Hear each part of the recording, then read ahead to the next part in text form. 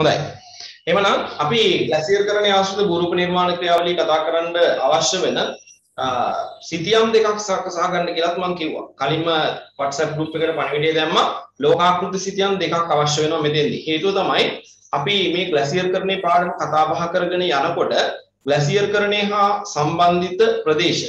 ඒ කියන්නේ ග්ලැසියර් කරණයේ සිද්ධ වෙන කලාප ගෝලීය මට්ටමේ ව්‍යාප්තිය හඳුනා ගන්න වෙලා තියෙනවා. ඒ කියන්නේ අපි මේ අවස්ථාවේදී බලමු ඒ තැන් අපිට ලකුණු කරන්න වෙනවා. අපි දන්නවනේ සිතියන් ගැන කතා කරනකොට ලෝක සිතියන් ලකුණු කරන්නත් අපිට අභ්‍යාසයක් තියෙනවනේ පේපර් එකේ.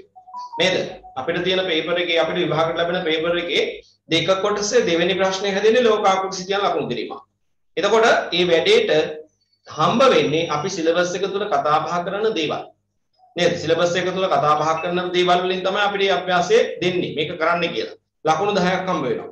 ඒ නිසා අපි මුල් අවස්ථාවලම අපිට හම්බෙන තියරි කොටස් වලදී හම්බෙන තැන් ලකුණු කරගෙන අපි ඉස්සරහට යන්නයි සූදානම්. එහෙමනම් අපි අද වැඩේට යමු ග්ලැසියර් කරණයේ ආශ්‍රිත භූරූප නිර්මාණය. දැන් මේ වෙනකොට ඔබේ අතේ සමහර විට නිබන්ධනය ඇති සමහරලාට නැතුව ඇති. නැති අයට තියෙන්නේ නිබන්ධනය ලැබෙනකන් ඔබට මොකක් හරි නෝට් එකක් වෙන කොලයක සටහන් කරගන්න පුළුවන්. හොඳයි එහෙමනම් දැන් මේ ග්ලැසියර් කරණයේ ආශ්‍රිත භූරූප නිර්මාණය කියන ක්‍රියාවලිය බලනකොට ග්ලැසියර් කියන්නේ මොකක්ද කියලා ඉස්සෙල්ලා ඉඳන් හඳුනගන්න ඉපේ. ග්ලැසියර් කියලා කියන්නේ පරිසර උෂ්ණත්වය සෙල්සියස් අංශක බිඳුවට වඩා පහළ යනකොට අපි ඒකට තනි වචනයෙන් කියනවා හිමාංකය. පරිසර උෂ්ණත්වය සෙල්සියස් අංශක බිඳුවට වඩා පහළ යනකොට අපි ඒක කියන්නේ හිමාංකය. හරිද? හිමාංකය සෙල්සියස් අංශක බිඳුවේ අගය. එතකොට මෙන්න මේ හිමාංකයට වඩා කිසියම් ප්‍රදේශයක උෂ්ණත්වය පහළ වැටුනොත් වැටුනොත් අපි දන්නවා ජලය කියන පදාර්ථය ජලය කියන පදාර්ථයේ ස්වරූප තුනකින් තියෙනවනේ නේද? ඝන තත්වෙනුත් පවතිනවා. අයිස් විදියට පරිවර්තනය වෙනවා. ඊළඟ අපි දන්නවා පෘථිවි තලයේ මතු පිට මෙහා ද්‍රව ස්වභාවයෙන්ුත් තියෙනවා. අපිට ওই සාගර මුහුදු ගංගායල දොළ ආදී තියෙන්නේ ද්‍රව තත්ත්වයේ ජලය. ඒ වගේම තමයි අපි දන්නවා මෙයාට පුළුවන්කම තියෙනවා වායුමය තත්ත්වයටපත් වෙන්න. වායු විදියට තියෙන්නත් පුළුවන්. එහෙනම් ඔන්න බලන්න පෘථිවියේ තියෙන ජලය නැමැති පදාර්ථය ජලය නැමැති පදාර්ථය ස්වරූප තුනකින්ම තියෙනවා. නේද? ඒ වගේම මතක තියාගන්න පෘථිවිය මත පිට තියෙන පදාර්ථ අතර මේ ස්වරූප තුනෙන්ම තියෙන එකම එක්කෙනක් මෙයයි. ජලය කියන එක්කෙනා ඝන ද්‍රව වායු කියන ස්වරූප තුනකට පරිවර්තනය වීමේ හැකියාව තියෙනවා. පෘථිවිය මත තියෙන පදාර්ථ අතර මේ ස්වරූප තුනෙන්ම දකින්න පුළුවන් එකම කෙනක් මෙයාමයි. හරි ඒක මතක තියාගන්න ළමයි. එතකොට මෙන්න මේ ජලය කියන පදාර්ථය හිමාංකයට වඩා අඩු උෂ්ණත්වයක් පත් වෙන ඕනෑම තැනකදී හිමාංකයට වඩා අඩු උෂ්ණත්වයකට පත් වෙන ඕනෑම තැනකදී අපි දන්නවා ඝන තත්ත්වයට පත් වෙනවා. නේද? ඝන තත්ත්වයට පත් වෙනවා. එතකොට මෙන්න මේ ඝන තත්ත්වයට පත් වෙලා කිසියම් ප්‍රදේශයක මහ විශාල ප්‍රදේශයක් වහගෙන මේ අයිස් තට්ටුවක් නිර්මාණය වුණොත් අන්නේ අයිස් තට්ටුවල තමයි අපි කියන්නේ ග්ලැසියරයක්. දැන් ඔබට පුළුවන් ගෙදර තියෙන මේ ෆ්‍රිජ් එකේ ඩීප් ප්‍රෙෂර් කරලා බලන්න ඒකේ අයිස් තියෙනවා. හැබැයි ඒවට අපිට ග්ලැසියර් කියන්න බෑ. නේද? ඒ පුංචි කොටස් වලට අපි කියන්නේ අයිස් කුට්ටි. එතකොට ලෝකයේ විශාල ප්‍රදේශයක පැතිරෙන ආකාරයට මහා විශාල ප්‍රදේශයක පුළුල් ප්‍රදේශයක පැතිරෙන ආකාරයට අයිස් තට්ටුවක් නිර්මාණය වුණොත් එයාට දෙන නම තමයි අපි ග්ලැසියර් කියලා කියන්නේ. එහෙනම් හොඳට මතක තියාගන්න මෙන්න මේ ග්ලැසියර් ක්‍රියාකාරී තත්ත්වයටපත් වෙලා අපි බලමු කොහොමද මේගොල්ලෝ ක්‍රියාකාරී තත්ත්වයටපත් වෙන්නේ කියලා. ග්ලැසියර් නිර්මාණය වෙලා ඒ ප්‍රදේශවල මේ ග්ලැසියර් තට්ටු නිසා අයිස් තට්ටු නිසා හැදෙනවා නම් භූරූප අන්න ඒවට අපි කියනවා ග්ලැසියර් භූරූප කියලා.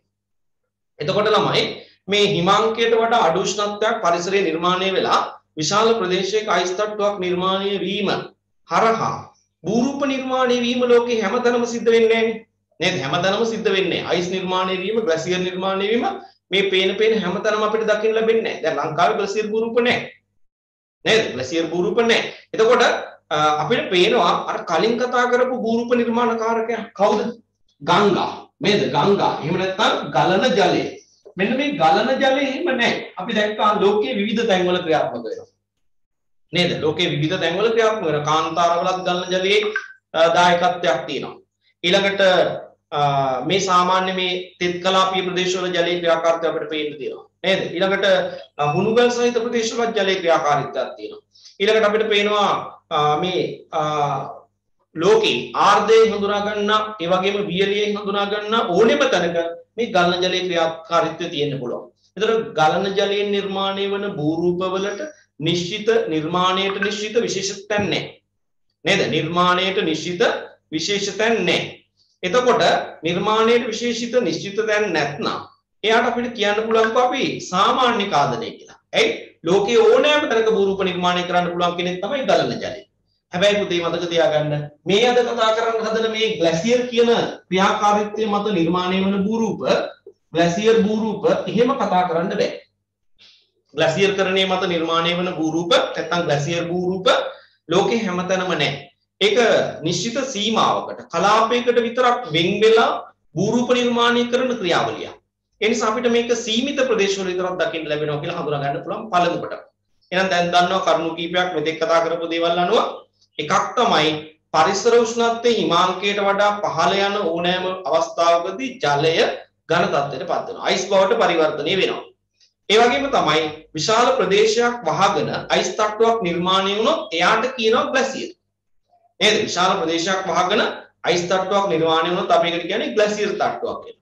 එතකොට මේ ග්ලැසියර් ක්‍රියාකාරීත්වය නිසා හැදෙන භූරූප ග්ලැසියර් භූරූපලු තාම දන්නේ නැහැ මොනවද භූරූප කියලා. නේද? ග්ලැසියර් භූරූපලු. එතකොට මේ ග්ලැසියර් ලෝකේ හැමතැනම ක්‍රියාකාරී තත්ත්වයට පත් වෙලා නැහැ. නිර්මාණය වෙලා නැහැ. ඒ නිසා ග්ලැසියර් නිර්මාණය වන සීමිත කලාප කීපයක විතරක් ග්ලැසියර් මගින් නිර්මාණය වන භූරූප අපිට දකින්න ලැබෙනවා. එහෙනම් මේකෙන් කොට තේරුම් ගන්න ඕනි ලෝකයේ ග්ලැසියර් භූරූප කලාපයකට සීමා වී තියෙන බව. එහෙනම් හොඳට මතක තියාගන්න ලෝකයේ ග්ලැසියර් ක්‍රියාකාරීත්වය සිද්ධ වෙන ප්‍රදේශ අපිට දෙකක් හඳුනා ගන්න පුළුවන් ළමයි. ලෝකයේ ග්ලැසියර් ක්‍රියාකාරීත්වය සිද්ධ වෙන ප්‍රදේශ දෙකක් හම්බ වෙනවා. එකක් තමයි අක්ෂාංශීය වශයෙන් ඉහළ කලාප. අක්ෂාංශීය වශයෙන් ඉහළ කලාප.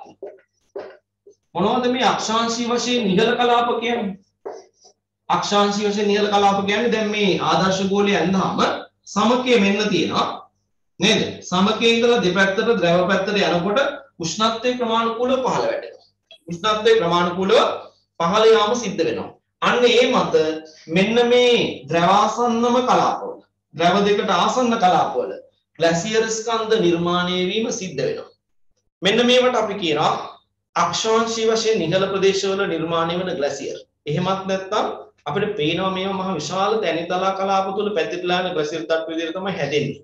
අන්න ඒ නිසා අපි කියනවා මහාද්වීපික ග්ලැසියර් කියලා. එහෙමත් නැත්නම් මේ ග්ලැසියර් දකින්න ලැබෙන ප්‍රමුඛම කලාපය තමයි මේ මේ උතුරු ද්‍රව්‍යවට කලාපය. අපි ඒකට කියනවානේ ආක්ටික් කලාපය කියලා. නේද? ඒ නිසා මේ විශාල ප්‍රදේශයක් පුරා ගෙතර පැතිරෙන මේ ග්ලැසියර් තට්ටුවට අපි තව නමක් කියනවා ආක්ටික් ග්ලැසියර්. Arctic glacier. දැන් බලන්නකෝ මේ ද්‍රවාසන්න කලාපවල නිර්මාණය වන ග්ලැසියර් තට්ටුවලට නම් කීපයක් කියනවා. මොනවද? එකක් මහාද්වීපික ග්ලැසියර්. මහාද්වීපික ග්ලැසියර්. ඊළඟට තව කියනවා මහතලා ග්ලැසියර්. මහතලා ග්ලැසියර්. ඒ කියන්නේ මහා විශාල ප්‍රදේශයක පැතිරලා හැදෙන හින්දා. ආක්ටික් ග්ලැසියර් කියනකො ඊළඟට මහාද්වීපික ග්ලැසියර් කියනකො මහා මහතලා ග්ලැසියර් කියලා කියනවා. නේද? මෙන්න මේ වගේ විවිධ අන්වර්ථ නාම වලින් හඳුන්වන්නේ මේ ද්‍රවයට කිට්ටු කලාප දෙකේ නිර්මාණය වන ග්ලැසියර් ස්කන්ධ. නේද? ග්ලැසියර් ස්කන්ධ. ඩෙල්ටාව ගැන කතා කළේ නෑ කියලා කියනවා. මම ඒක කතා කරන්නම් මේ පැහැදිලි කිරීම පොඩ්ඩක් කරලා ඉවරලා. මට මතක තිබුණේ ගංගා ක්‍රියාවලිය ආශ්‍රිතව නිර්මාණය වන බුරුප සම්පූර්ණයෙන්ම කතා කරලා ඉවරයි කියලා. හරි දැන් චුට්ටක් මේක අහගෙන ඉන්නකෝ. චුට්ටක් මේක අහගෙන ඉඳලා අපි එකට යන්න. එහෙනම් එකක් හඳුනාගත්තා අක්ෂාංශී වශයෙන් ඉහළ කලාපවල නිර්මාණය වන වැසිය. දෙවෙනි එක තමයි උන්නතාංශයෙන් ඉහළ කලාප. උන්නතාංශයෙන් ඉහළ කලාප. ඉහළ කලාපවල නිර්මාණය වන වැසිය. උන්නතාංශයෙන් ඉහළ කලාප කියලා කියන්නේ අපි දන්නවා උන්නතාංශය කියන්නේ මොකද්ද? මුහුදු මට්ටමේ ඉඳලා තියෙන උස. ඔන්න මම පැහැදිලි කිරීම කළා. මුහුදු මට්ටමේ සිට මුහුදු මට්ටමේ සිට උස තමයි උන්නතාංශය. ඒතර අපි දන්නවා අපි වායු ගෝලය ගැන ඉගෙනගෙන තියෙනවා. වායු ගෝලයේ පහළ කොටසේදී අපිට පේනවා මුහුදු මට්ටමේ ඉඳලා උස වැඩි වෙන සෑම මීටර් 100කට උෂ්ණත්වය මොකද වෙන්නේ? උෂ්ණත්වය පහළ යනවා. නේද? උෂ්ණත්වය පහළ යන්නේ කොහොමද කියන්නත් අපි දන්නවා. මුහුදු මට්ටමේ ඉඳලා උස වැඩි වෙන සෑම මීටර් 100කටම මීටර් 100කටම උෂ්ණත්වය සෙල්සියස් අංශක 0.6 බැගි. තව විදිහකට කියන්න පුළුවන් මීටර් 1000කට නම් 6.4 බැගි. නේද? උෂ්ණත්වයේ පහත වැටීමක් සිද්ධ වෙනවා. එතකොට ළමයි මෙන්න මේ ක්‍රියාවලියට යටත්ව උස සමග උෂ්ණත්වයේ අඩුවීමේ ප්‍රතිඵලයක් විදිහට අපිට පේනවා ලෝකයේ උසම කඳුකර මුදුන් කලාප වලට යනකොට. අර පරිසර උෂ්ණත්වයේ හිමාංකයට වඩා පහළ යනවා.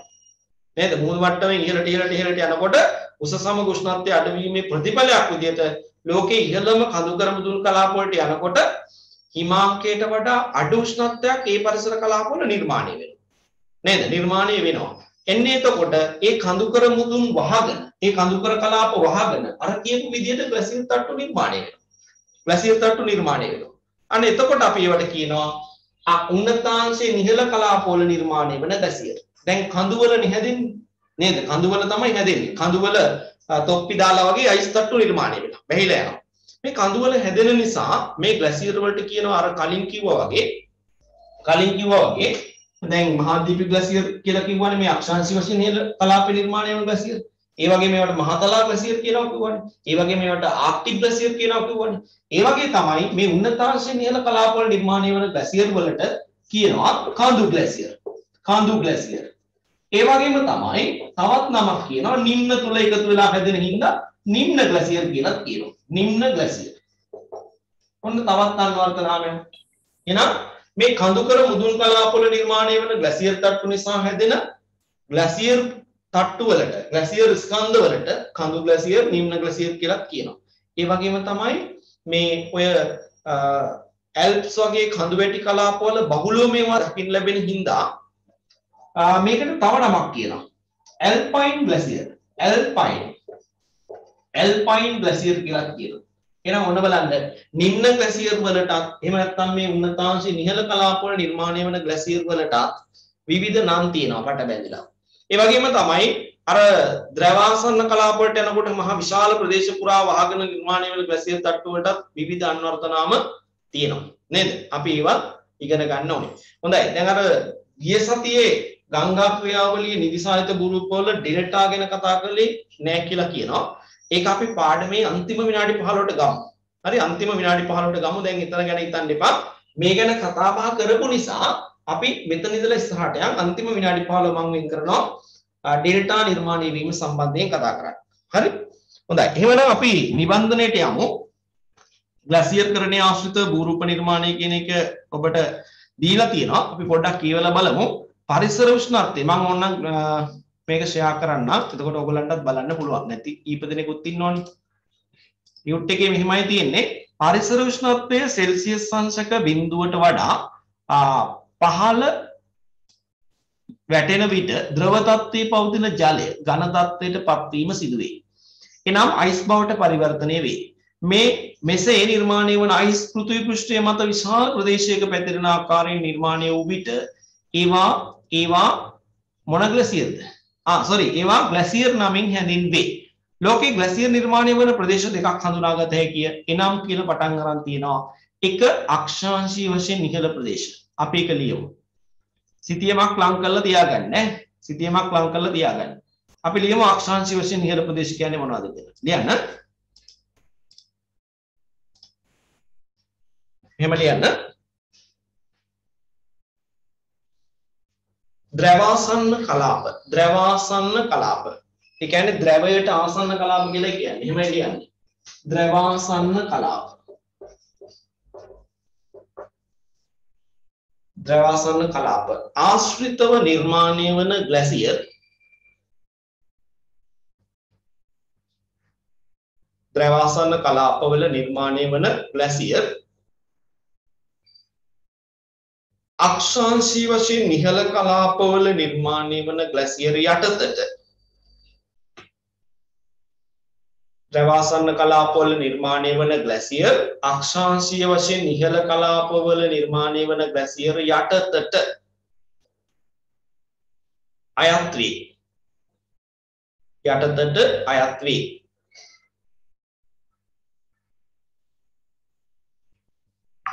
සමකයේ සිට සමකයේ සිට සමකයේ සිට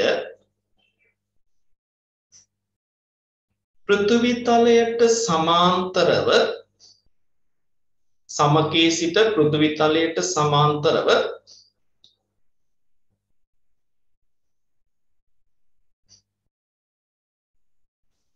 ද්‍රව දෙසට යන විට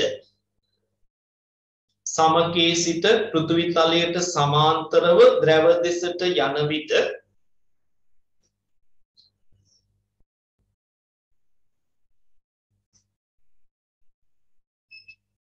පරිසර උෂ්ණත්වය පහළ වැටි පරිසර උෂ්ණත්වය පහළ වැටි නැත්තම් ක්‍රමානුකූලව පහළ බැස පරිසර උෂ්ණත්වය ක්‍රමානුකූලව පහළ බැස ද්‍රවාසන්න කලාපවලදී ද්‍රවාසන්න කලාපවලදී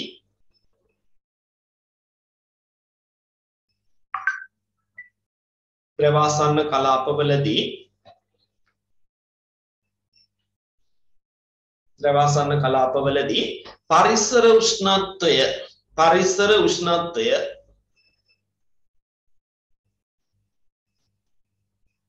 පරිසර උෂ්ණත්වය හිමාංකයට වඩා පහළ බැසීමෙන්.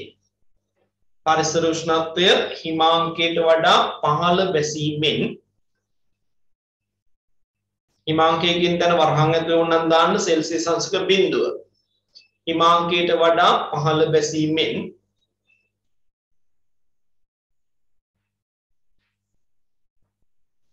විශාල ප්‍රදේශයක් පුරා පැතිරෙන ආකාරයෙන්.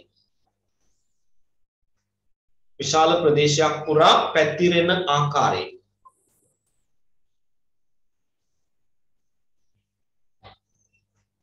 ග්ලැසියර් නිර්මාණය වේ. ග්ලැසියර් නිර්මාණය වේ.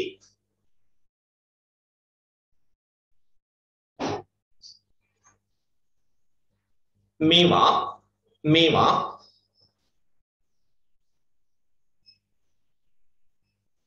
මේවා මහාදීපික ග්ලැසියර්. වෙන වර්ණවලින් ලියන්න ළමයි. මහාදීපික ග්ලැසියර්. මහාදීපික ග්ලැසියර්. මහාද්වීපික ග්ලැසියර්. කම මහතලා ග්ලැසියර්. මහතලා glacier. මහතලා glacier Arctic glacier Arctic glacier Arctic glacier යන නම්වලින්ද ආර්ක්ටික් ග්ලැසියර් යන නම්වලින්ද හඳුන්වනු ලබයි. හඳුන්වනු ලබයි.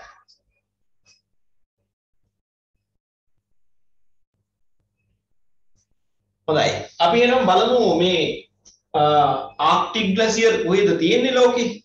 දැන් අන්න සිටිය මෝනි වෙනවා. දැන් සිටිය මෝනේ අපි ඉස්සෙල්ලා නාමිකව හඳුනාගෙන නම් වශයෙන් කොහෙද මේවා තියෙන්නේ කියලා හඳුනාගෙන දැන් ඕගොල්ලන්ට යම් අවබෝධයක් ලැබෙන්න ඇති මේ ආර්ක්ටික් ග්ලැසියර් කියලා නම ලැබිලා තියෙන්නේ මේ තියෙන ප්‍රදේශය නිසානේ. නේද? මේවා නිර්මාණය වෙලා වැඩි වශයෙන් තියෙන ප්‍රදේශය නිසා තමයි ආර්ක්ටික් කියන අන්වර්ථ නාමය ලැබිලා තියෙන්නේ. එතකොට අපිට පේනවා මේ ආර්ක්ටික් සාගරයේ අවට ඒ අවට තියෙන ගොඩබිම් කලාප සම්පූර්ණයෙන්ම අපිට පේනවා අයිස් තට්ටු වලින් මෙහෙලා තියෙනවා නේද ලෝකේ වටේම හරි එතකොට මෙන්න මේ පුළුල් කලාපය තමයි එතකොට ප්‍රධාන කලාපය බවට පත් වෙලා තියෙන්නේ මේ මේ මහද්වීපික ග්ලැසියර් වල එහෙම නැත්නම් අක්ෂාංශී වශයෙන් ඉහළ ප්‍රදේශ වල නිර්මාණය වෙන ග්ලැසියර් විදියට. එහෙනම් අපිට ඒ අවට තැන් සම්බන්ධ කරගෙන මේ කියන කලාප ටික හඳුනා ගන්න පුළුවන්. එහෙනම් අපි ලියමු මේ ප්‍රදේශ නම් වලින් ඉස්සලා ලියමු. එක ග්‍රීන්ලන්තේ. ග්‍රීන්ලන්තයේ 97ක් භූමිය ග්ලැසියර් වලින් වෙලා තියෙන්නේ. 3ක් වගේ තමයි භූමිය මතුවලා පෑදිලා පේන්නේ. ඔන්න එකක් මහාදීපික ග්ලැසියර් ක්‍රියාත්මක වන ප්‍රදේශයක් තමයි ග්‍රීන්ලන්තය. ඊළඟට උතුරු ඇමරිකා මහාද්වීපයේ උතුරු ඇමරිකා මහාද්වීපයේ උතුරු ඇමරිකා මහාද්වීපයේ ද්‍රවාසන්න දූපත් සියල්ලම. ද්‍රවාසන්න දූපත් සියල්ලම.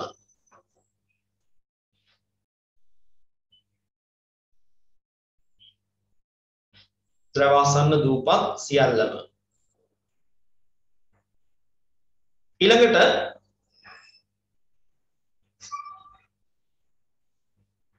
ඇලස්කාවේ උතුරු දිග වෙරළ කලාප. ඇලස්කාවේ උතුරු දිග වෙරළ කලාප. ඇලස්කාවේ උතුරු දිග වෙරළ කලාප.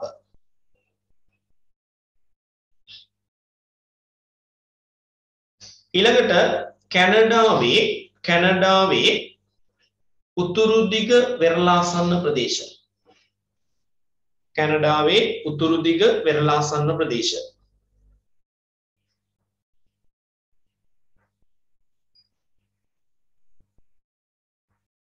හොඳයි. ඊළඟට හතර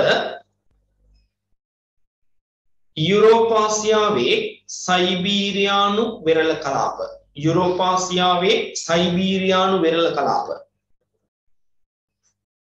යුරෝපාසියාවේ සයිබීරියානු වෙරළ කලාප.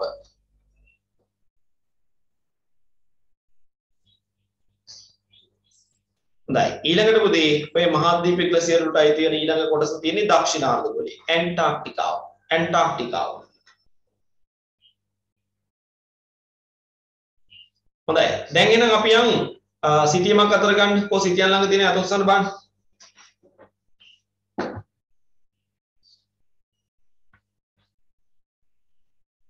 හරි තියෙනවා. දැන් මේක මේ වෙලාවේ ලකුණු කළේ නැත්තම්. ඔක්කොටම තියෙනවා. හොඳයි. ඔක්කොටම තියෙනවා. අපි එහෙනම් යමු වැඩේට මම ඔයගලන්ට මේ ලෝක සිතියමක් ෂෙයා කරනවා. හරි? දැන් පේනවා ඇති ලෝක සිතියමක් තියෙනවා. නේද? මේකේ අපි ඔය කියන ප්‍රදේශ ලකුණු කරමු.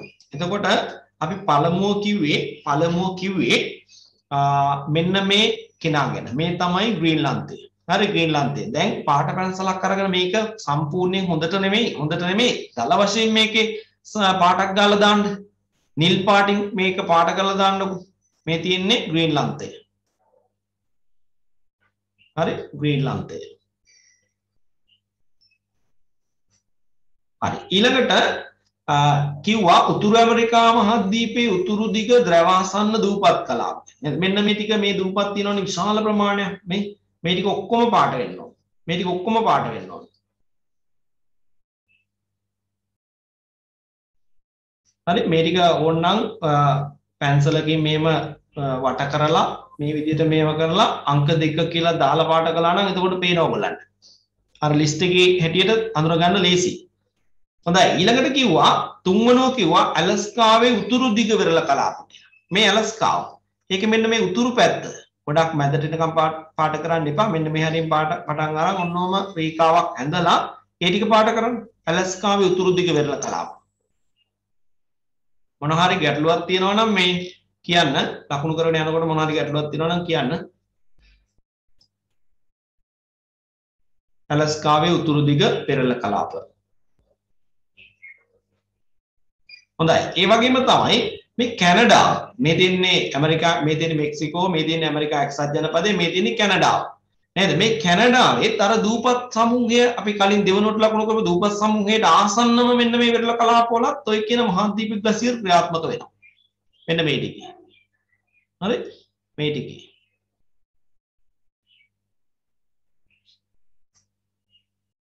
හරි. ඊළඟට පුතේ අපි ඊළඟට කිව්වා මේ යුරෝපාසියාවේ සයිබීරියානු වෙරළ කලාප. ඒ කියන්නේ මේ උතුරු ද්‍රවයට ආසන්නම් වෙන්නේ උත්තර සාගරයට මුහුණලා පිල්ල තියෙන වෙරළ කලාපේ. ඒතර මෙන්න මේ හරියෙන් පටන් අරගෙන මේ හරියෙන් පටන් අරගෙන ඔයගොල්ලන්ට පුළුවන්කම තියෙනවා මෙන්න මේ ටික ඔක්කොම මෙන්න මේ හරියද ටිකක් පහළට ඝනකමට එනවා ඈ. මේ හරියද ටිකක් ඝනකමට එනවා. මෙහෙන් බොහොම තුනියට පටන් අරගෙන ඔන්න ඔන්න ඔන්නම සම්පූර්ණයෙන් මේ පැත්තටම අදින්න රේඛාවක්. ඇඳලා ඒ ටික සම්පූර්ණයෙන්ම පාට කරන්න. එතකොට ඒ ටික තමයි යුරෝපාසියාවේ සයිබීරියානු වෙරළ කලාපය කියලා අපි නම් කළේ. හොයාගන්න බැරිනොත් අත උස්සන්න. එතකොට මට ආයි කියන්න පුළුවන් ඒ තැන්.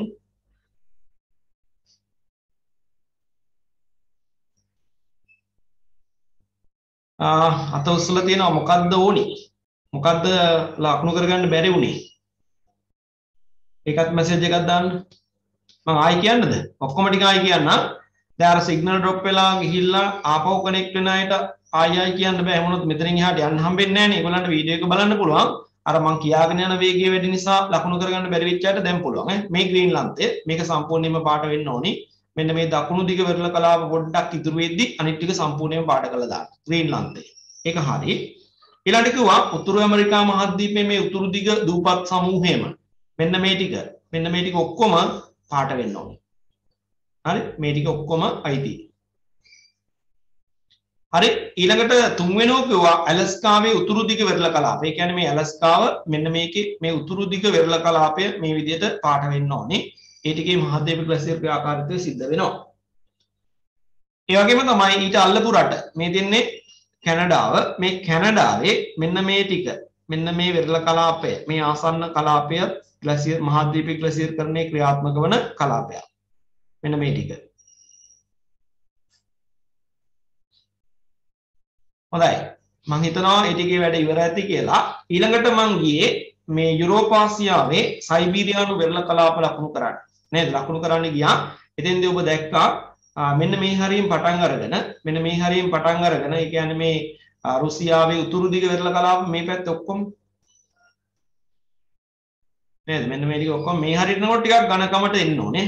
පළල වැඩි වෙන්න ඕනේ මෙන්න මෙහෙම මෙන්න මේ වගේ රේඛාවක් ඇඳ ගන්න ඇඳගෙන මේ ටික ඔක්කොම නිල් පාටින් පාට කරලා දාන්න ඒ ටික ඔක්කොම ග්ලැසියර් තරණේ ක්‍රියාත්මක වෙනවා මහාද්වීපික ග්ලැසියර් විදියට. හරිද ළමයි? හොඳයි. ඊළඟට මේ තියෙන්නේ දකුණු ඔයාලගේ මැප් එකේ සම මීට වඩා මේ මේ මේ මගේ නම් මේ හරහට රේඛාවක් ඍජු රේඛාවක් ඇඳලා තියෙනවා. ඔයගලගේ සිතීම ඊට වඩා වෙනස්ව ඇති. මේ තියෙන්නේ අපි දන්නවනේ ඉතින් ඇන්ටාර්ක්ටික් මහද්වීපයනේ. මේක සම්පූර්ණයෙන්ම පාට කරලා දාන්න. සම්පූර්ණයෙන්ම පාට කරලා දාන්න.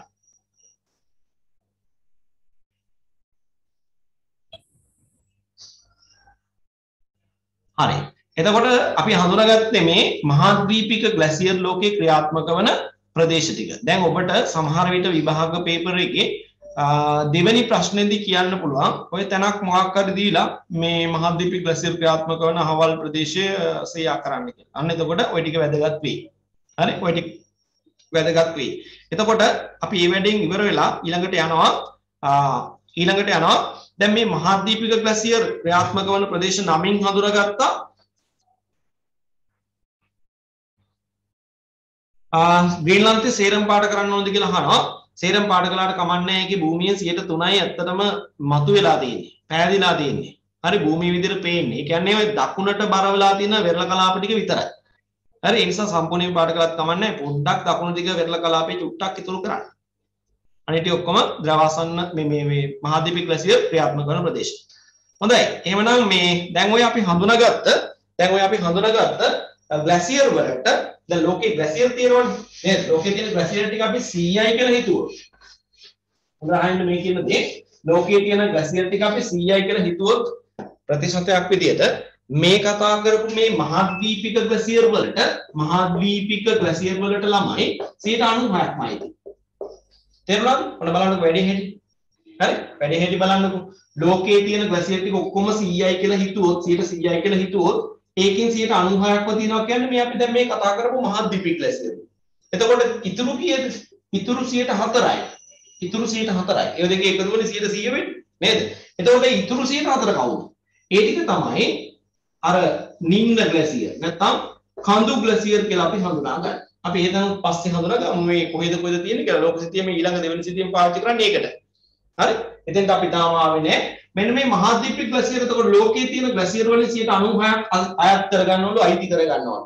ඒ වගේම තමයි මතක තියාගන්න මේවායේ සාමාන්‍ය ඝනකම්. දැන් මේ පොළොව තලයේ නම් ඒ පොළොව තලයේ ඉඳලා කොච්චර උසකට මේක වර්ධනය වෙලා තියෙනවද කියලා හොයලා තියෙනවා. එතෙන්දි හම්බෙලා තියෙන මිනුම තමයි අගය තමයි සාමාන්‍ය ඝනකම මහද්වීපික ග්ලැසියර් වල මීටර් 1300ක්. මීටර් 1300ක් ළමයි. ඒ කියන්නේ පොළොව තලයේ ඉඳලා උසට මීටර 1300ක් කිලෝමීටර වලින් ගත්තොත් කිලෝමීටර 1.3ක් උසට වර්ධනය වෙලා තියෙනවලු මේ මහාද්වීපික ග්ලැසියර් තට්ටු ඒ ඒ ප්‍රදේශවල. පැහැදිලි ඇති මම කියන කතාව. එහෙනම් මහාද්වීපික ග්ලැසියර් සම්බන්ධයෙන් තවත් කරුණු දෙකක් අපි අලුතෙන් ඉගෙන ගත්තා. ලෝකේ ග්ලැසියර් වලින් 96%ක්ම මේගොල්ලන්ට අයිති මේ ග්ලැසියර් වර්ගයට අයිති. ඒවා සාමාන්‍ය ගණකම මීටර 1300ක් විතර වෙනවා කියලා. ඔය අපි නෝට් එක ලියාගෙන ගිය තැනම පහලින් තරු ලකුණු දෙකක් දාන්න ඉඩ ඇති කියලා මම හිතනවා. දාලා ලියමු. පළවෙනි තරු ලකුණු දාලා ලියන්න ලෝකයේ මුළු ග්ලැසියර් ස්කන්ධයෙන් 96ක්. ලෝකයේ මුළු ග්ලැසියර් ස්කන්ධයෙන් 96ක්. ලෝකයේ මුළු ග්ලැසියර් ස්කන්ධයෙන් 96ක් මහද්වීපික ග්ලැසියර් වේ. මහද්වීපික ග්ලැසියර් වේ.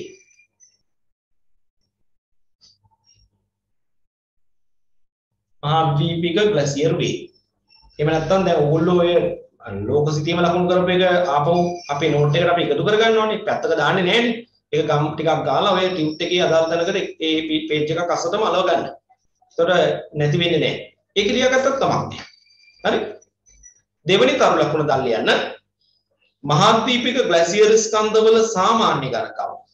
මහාද්වීපික ග්ලැසියර් ස්කන්ධවල සාමාන්‍ය ඝනකම මහාද්වීපික ග්ලැසියර් ස්කන්ධවල සාමාන්‍ය ඝනකම මීටර 1300ක් පමණ වේ. සාමාන්‍ය ඝනකම මීටර 1300ක් පමණ වේ.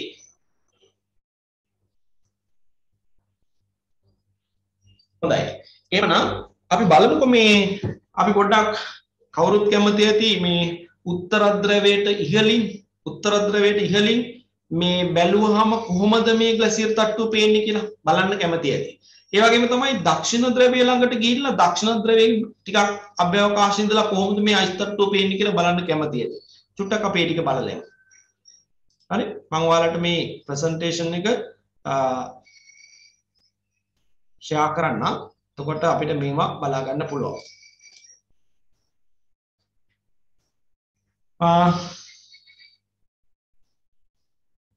මැසේජ් එකක් එනවා මොකද්ද සර් මම දැන් ක්ලාස් එකට ආවේ? ටියුට් එකේ කීවෙනි පේජ් එකේද සර් දැන් ලියන්නේ?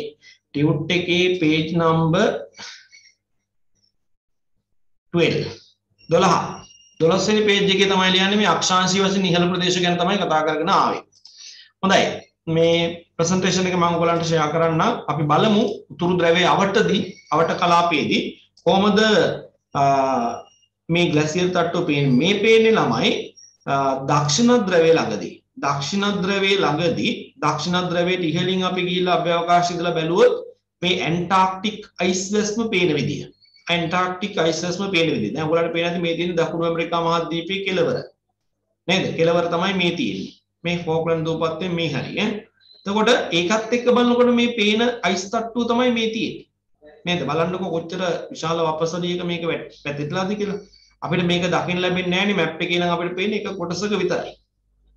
නේද? කොටසක විතරයි එකක් දිග්ගස්සලානේ පෙන්වන්නේ එතකොට තේරුම් ගන්න අමාරු දැන් අපිට මේ පේනවා ආදර්ශ ගෝලයේ සැබෑ පෘථිවි ගෝලයේ කොහොමද මේ දක්ෂිණාර්ධ ගෝලයේ වටේ අයිස් තට්ටුව තියෙන්නේ කියලා. හරි? අපි ඊළඟ ස්ලයිඩ් එකට යමු. මේ තියෙන්නේ උතුරු ද්‍රවයාවට උතුරු ද්‍රවයේ අවට. හරි?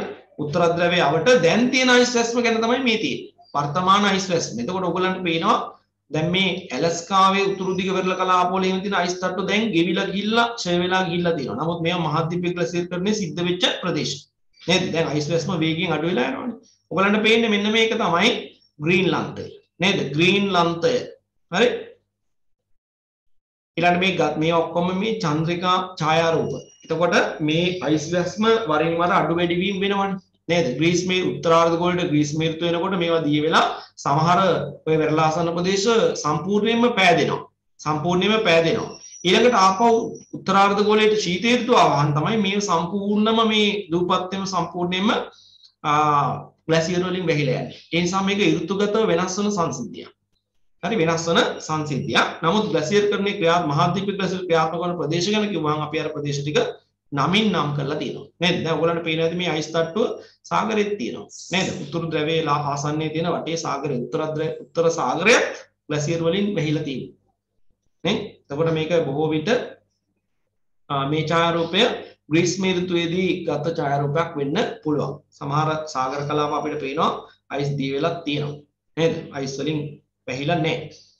හොඳයි. එහෙනම් අපි යම් අවබෝධයක් ගත්තා මහද්වීප ග්ලැසියර් සම්බන්ධයෙන්. අපි ඒකට අදාළ සටහනත් ලිව්වා. අපි යන් දෙවැනි වර්ගයට දෙවැනි වර්ගයට. අපි දෙවැනි වර්ගය ගැන කතා කළේ කවුද? මේ නිම්න නැත්තම් කඳු ග්ලැසියර් නේද? නිම්න හේවත් කඳු ග්ලැසියර් එතකොට කොහොමද ග්ලැසියර් නිර්මාණය වෙන්නේ පරිසර උෂ්ණත්වය හිමාංකයට වඩා පහළ යනවනම් පහළ යනවනම්. දැන් අපි දන්නවා සමකෙන් ඈතට යනකොට යනකොට ද්‍රව පැත්තට යනකොට උෂ්ණත්වය අඩු වෙනවා. එයි සූර්යාලෝකය ලැබෙන්නේ අඩු වෙන්නේ. නේද? ද්‍රවාසන්න කලාප දක්වා යනකොට හිරු ආලෝකය ලැබෙන්නේ අඩුයි. සූර්ය විකිරණ තීව්‍රතාව අඩුයි. සමහර කාල තියෙනවා අවුරුද්දේ මාස 5ක් 6ක් විතර මේ ද්‍රවාසන්න කලාපයට අන්ධකාරයමයි. දවලක් එන්නෙම නැහැ. දහවල ඇත්තෙම නැහැ. නේද? මාස 4ක් 5ක් ඒක වෙනස් වෙනවා. හරි මේ වගේ කාලයක් තුළ හිරුවෙලි වැටෙන්නෙම නැති කාලයක් තියෙනවා. ඒ වගේ කාලෙට ඒ සීතෙත් වහම ඒතර ඒ කාලෙට ග්ලැසියර් නිර්මාණය වෙනවා වැඩිපුර. මේ මහද්වීපී ග්ලැසියර් කලාපවල. දැන් එහෙනම් අපි දන්නවා සමකෙන් ඈතට යනකොට හිරුවෙලිය ලැබීමේ අඩුවෙන් අඩුවීම මත තමයි පරිසර උෂ්ණත්වය පහළ වැටෙන්නේ හිමාංකයට වඩා. නේද? ඒ නිසා මහද්වීප ග්ලැසියර් හැදෙනවා. දැන් මේ කියන්නේ නිම්න හෙවත් කඳු ග්ලැසියර් ගැන. එතකොට පුතේ දැන් මේ නිම්න හෙවත් කඳු ග්ලැසියර් කියන්නේ ලෝකයේ උසම කඳු වැඩි මුදුන් කලාප ටික වහගෙන අයිස් තට්ටුවක් හැදලා තියෙනවා. අන්න ඒ ටික ගැන තමයි කියන්නේ. ඇයි මේ කඳු කර කලාප වලට ගියාම අයිස් නිර්මාණය වෙන්නේ? ග්ලැසියර් නිර්මාණය වෙන්නේ මොන හේතුව නිසාද? ඒකට බලපාලා තියෙන හේතුව තමයි පහළ වායු ගෝලය තුල සිද්ධ වෙන පහළ වායු ගෝලය තුල සිද්ධ වෙන පරිසර පතන ශීඝ්‍රතාවය කියන සංසිද්ධිය. ඒක ගැන ඔයගොල්ලෝ හොඳටම දන්නවා. භෞම පද්ධතිය කියන පාඩමේදී වායු ගෝලය ගැන කතා කළා. ස්තර හතරකට බෙදෙනවා. පරිවර්තී, අපරිවර්තී, මෙසෝ ගෝලය සහ තාප ගෝලය. නේද? ඒතර ඒකෙදී අපි පරිවර්තී ගෝලයේ සිදුවන සංසිද්ධියක් විදිහට මේ පරිසර පතන ශීඝ්‍රතාව ගැන කතා කරලා තියෙනවා. මුහුදු මට්ටමේ ඉඳලා උස වැඩි වෙන සෑම මීටර් 100කටම උෂ්ණත්වයේ සෙල්සියස් අංශක 0.64 බැගින්. එහෙම නැත්නම් තව ක්‍රමයකට ගියොත් උස වැඩි වෙන සෑම මීටර් 1000කටම සෙන්ටිග්‍රේඩ් අංශක 6.4 ගන්න. උෂ්ණත්වය පහළ යනවා. ඒ පහළ යනකොට අපිට පේනවා ලෝකයේ උසම කඳුකර මුදුන් තල. දැන් උසම තැන විදිහට සලකන්නේ මොකද්ද මුදුන? ඉවරස් මුදුනනේ. මීටර 8848යි. නේද? මුහුදු මට්ටමේ ඉඳලා ගත්තාම මීටර 8848යි. මේක තමයි උසම තැන පෘථිවි තලයේ. නේ? හරි. එතකොට මේ වගේ කලාපයකට යනකොට මුහුදු මට්ටමේ ඉඳලා උච්චර උසකට යනකොට උෂ්ණත්වය බලන්නකො හිමාංකයට වඩා ගොඩක් පහළට යනවා. නේද? අන්න ඒ නිසා ඒ කඳුකර කලාපවලත් අපිට පේනවා ජලයේ ද්‍රව තත්ත්වයේ තියෙන විදියන්නේ. හිමාංකයට වඩා පහළ වෙන්න නම් අනිවාර්යෙන් ඝන බවට පත් වෙනවා. ඒ නිසා ඒ කඳුකර කලාපවල එකතු වෙනවා අයිස් තට්ටුවක් මේ මේ ජල ප්‍රමාණයක් අයිස් විදියට. අන්න ඒ අයිස් තට්ටුව තමයි අපි කියන්නේ නිම්න ග්ලැසියර්. නැත්නම් කඳු ග්ලැසියර්. තව නමක් කියනවා. මොනවද? Alpine glacier. නේද? ඇල්පයින් ග්ලැසියර්, කඳු ග්ලැසියර්, නිම්න ග්ලැසියර් කියලා කියන්නේ එකම වර්ගයක්. අතෙන්දි මහද්වීපී ග්ලැසියර්, මහතලා ග්ලැසියර්, ආර්ක්ටික් ග්ලැසියර්. එකම සෙට් එකක් ඒ නම් සෙට් එකම පාවිච්චි කරන්නේ අර ත්‍රවාසන කලාපවල නිර්මාණය වෙන ග්ලැසියර් හඳුන්වන්නේ. එහෙමනම් අපි යම් අක්ෂාංශී වශයෙන් ඉහළ කලාපවල නිර්මාණය වෙන ග්ලැසියර් ගැන ලියන්නේ. අපි ඒක ලියලා එමු. ලියන්න. ලෝකයේ ලෝකයේ උසම කඳුකර මුදුන් කලාපවල ලෝකයේ උසම කඳුකර මුදුන් කලාපවල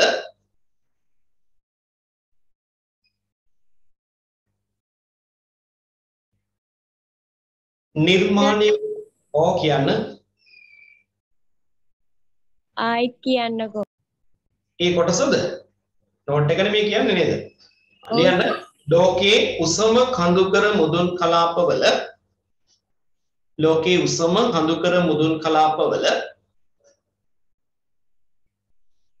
නිර්මාණය වන ග්ලැසියර් නිර්මාණය වන ග්ලැසියර්.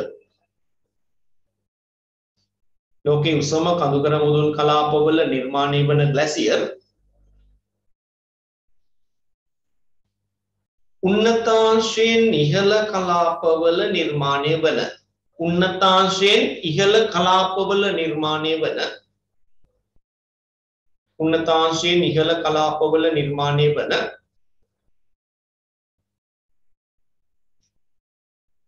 ග්ලැසියර් නමින් හැඳින්වේ.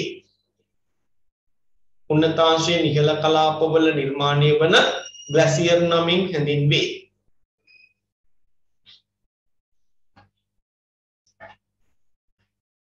පරිවර්තී ගෝලීය කලාපය තුළ පරිවර්තී ගෝලීය කලාපය තුළ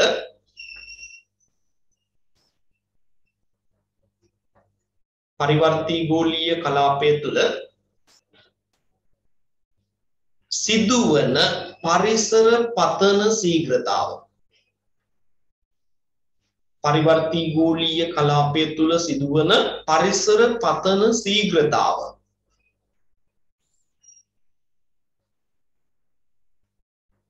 පරිසර පතන ශීඝ්‍රතාව නැමැති සංසිද්ධියේ ප්‍රතිඵලයක් ලෙස නැමැති සංසිද්ධියේ ප්‍රතිඵලයක් ලෙස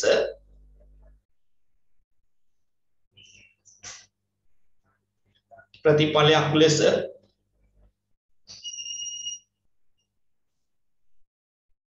ලෝකයේ උසම කඳුකර කලාපවල ලෝකයේ උසම කඳුකර කලාපවල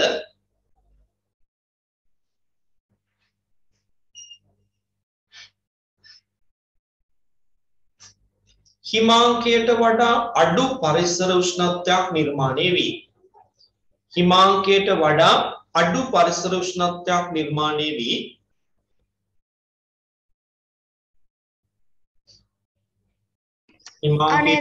ලෝකයේ කියන තැන ඉඳන් පොඩ්ඩක් කියනවාද? ලෝකයේ උන්නතාංශයෙන් ඉහළම කඳුකර කලාපවල ලෝකයේ උන්නතාංශයෙන් ඉහළම කඳුකර කලාපවල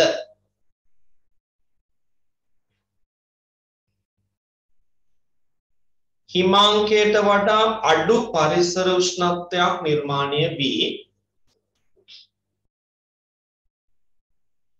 හිමාංකයට වඩා අඩු පරිසර උෂ්ණත්වයක් නිර්මාණය වී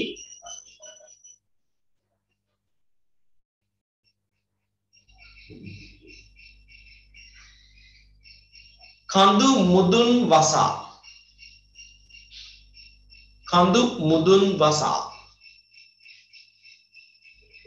කඳු මුදුන් වසා ග්ලැසියර් නිර්මාණය වේ.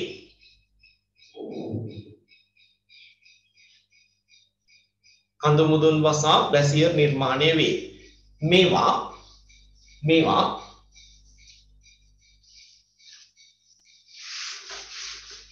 වෙන වර්ණයක් ගන්න. මේවා කඳු ග්ලැසියර් කඳු ග්ලැසියර් මේවා කඳු glacier comma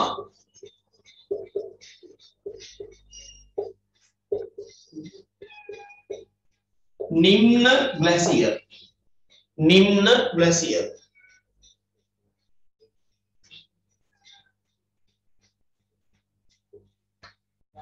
comma alpine glacier alpine glacier. Alpine glacier.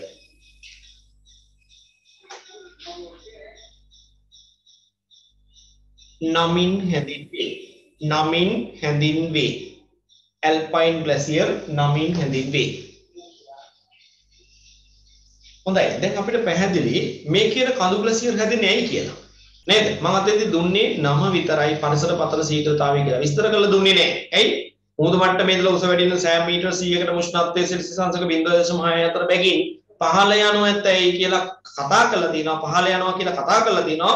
භෞම පද්ධතිය වායු ගෝලය ගැන කතා කරනවා. ඒ සමග ඉතින් ආයි විස්තරාත්මකව කියන්න කියන්නේ ඒ සංසිද්ධිය හඳුන්වන නමින්ම වැඩි කිව්වා. එහෙනම් පහළ වායු ගෝලී කලාපය තුල උස වැඩි වෙන්න වැඩි වෙන උෂ්ණත්වයේ පහළ වෙහැලා කඳුකර මුදුන් ඉහළම කඳුකර මේ අපේ රටේ තියෙන මේ කඳු මුදුන් වලට යනකොට සීතලක් ඇති වෙන බව ඇත්ත. නේද? අඩු උෂ්ණත්වයක් නිර්මාණය වෙන්නේ ඇයි? අර ක්‍රියාවලිය සිද්ධ වෙලා. හැබැයි අපේ කඳු මුදුන් කලාපවල අයිස් නිර්මාණය වෙන තරම් උෂ්ණත්වය අඩු වෙන්නේ නැහැ. නේද? අයිස් තට්ටු නිර්මාණය වෙන තරම් උෂ්ණත්වය පහළ යන්නේ නැහැ. ඒ තරම් උස කඳු අපේ රටවල නැහැ. හැබැයි අපිට පේනවා ලෝකයේ උස්සම කඳුකර කලාප තියෙනවා. ඒ කලාප වලට යනකොට උෂ්ණත්වය සෙල්සියස් අංශක 0.5ටත් වඩා පහළ වෙන අවස්ථා තියෙනවා. අන්න ඒ තැන් වලදී තමයි ග්ලැසියර් තට්ටු නිර්මාණය. එහෙනම් අපි බලමු කොහෙද මේ කඳු ග්ලැසියර් නිර්මාණය වෙන්නේ. කඳු ග්ලැසියර් නිර්මාණ. ලෝකයේ උස්සම කඳුකර කලාප ටික නම් කරගන්න පුළුවන් නම් උපදිනු. මේකෙදි නේද? මොනවද උස්සම කඳුකර කලාප විතර ගන්න? හිමාලය කඳු වැටි කලාපය. හිමාල කඳු වැටි කලාපය. ඊළඟට උතුරු ඇමරිකා මහද්වීපයට ගියාම අපිට හම්බ වෙනවා බටහිර වෙරළ දිගේ නිර්මාණය වෙලා තියෙන මහ විශාල දිග කඳු වැටියක්. අපි යාට කියනවා රොකි කඳු වැටි. නේද? රොකි කඳු වැටිය මේ නිම්න ග්ලැසියර් ක්‍රියාත්මක වන ප්‍රදේශයක්. ඊළඟට දක්ෂිණාර්ධ ගෝලයේ දකුණු ඇමරිකාවට ගියාම අපිට හම්බ වෙනවා දකුණු ඇමරිකාවේ බටහිර පැත්තේ වෙරළ දිගේ ඒ වෙරළට සමාන්තර කඳු වැටියක් හැදිලා තියෙනවා. අපි යාට කියනවා ඇන්ඩීස් කඳු වැටි. එහෙනම් ඔන්න අපිට හම්බුණා මේ නිම්න ග්ලැසියර් ක්‍රියාත්මක වන කඳු ග්ලැසියර් ක්‍රියාත්මක වන ප්‍රදේශ තුනක්. නේද? හිමාලය කඳු වැටි කලාපයයි රොකී කඳු වැටි කලාපයයි දකුණු ඇමරිකාවේ ඇන්ඩිස් කඳු වැටි කලාපයයි. මෙන්න මේ කලාප ටික නිම්න ග්‍රැසියර් ක්‍රියාත්මක වෙන කලාප. ඔච්චරද තියෙන්නේ? නෑ. තව තියෙනවා. යුරෝපයේ හම්බ වෙනවා Uh, ඇල්ප්ස් කඳු වැටි කලාපය. ඇල්ප්ස් කඳු වැටි වල තියෙනවා. නේද? ඊළඟට පිරනීස් කඳු වැටි කලාපේ තියෙනවා. පිරනීස් කඳු වල තියෙනවා. ග්‍රැසියර් නිම්න ග්‍රැසියර්. ඊළඟට අප්‍රිකාවට ගියාම වයිපදික පැත්තට ඉట్లా තියෙනවා ඇට්ලස් කඳු. ඇට්ලස් කඳු.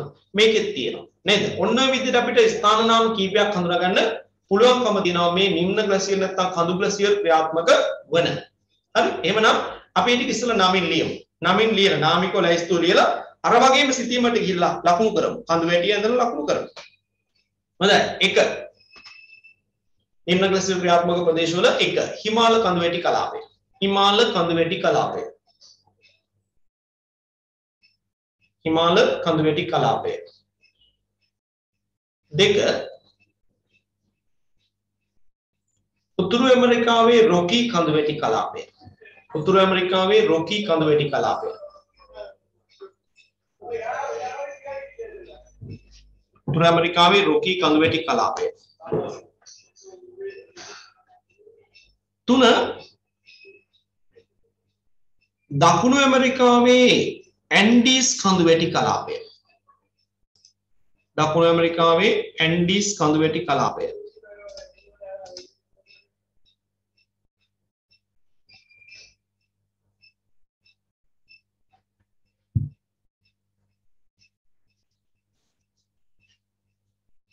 හතර යුරෝපයේ ඇල්ප්ස් කඳු වැටි කලාපය. යුරෝපයේ ඇල්ප්ස් කඳු වැටි කලාපය.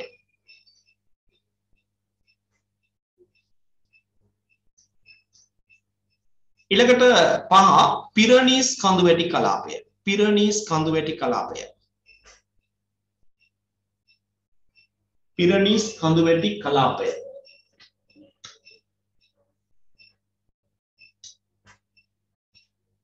ඊළඟට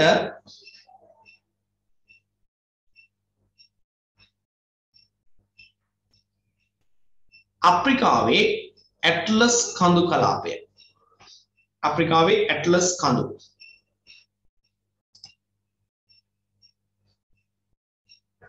හොඳයි. අපි ගන්න අනිත් ලෝක සිතිය මතක අනිත් ලෝක සිතිම ගන්න. ලියන්න මාතෘකාව. කලින් එකේ මට කියන්න බැරි නැත්නම් දන්නේ මාතෘකාව ලිපේ නැද්ද? කලින් ලකුණු කරපු සිතීමේ මාතෘකාව ලියන්න ළමයි ලෝකයේ මහාද්වීපික ග්ලැසියර් ක්‍රියාත්මක වන ප්‍රදේශ. ඒක ලියලා ඉන්නකෝ. ඒක ලියලා පැත්තක තියන්න. ලෝකයේ මහාද්වීපික ග්ලැසියර් ක්‍රියාත්මක වන ප්‍රදේශ.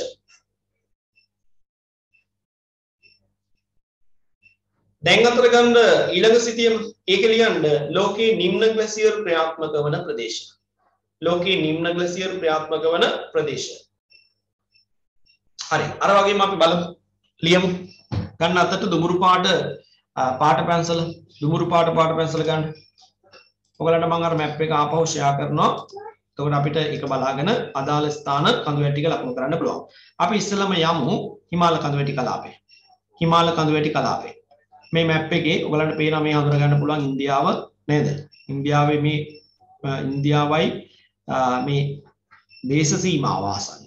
මෙන්න මෙහෙන් පටන් අරගෙන මේ හරියෙන් පටන් අරගෙන මෙන්න මේ විදිහට අඳින්න මෙන්න මේ හරියට එනකන් රේඛාවක් ඝනකම පළල රේඛාවක් අඳින්න. ඒ තමයි හිමාල කඳු වැටි කලාපය.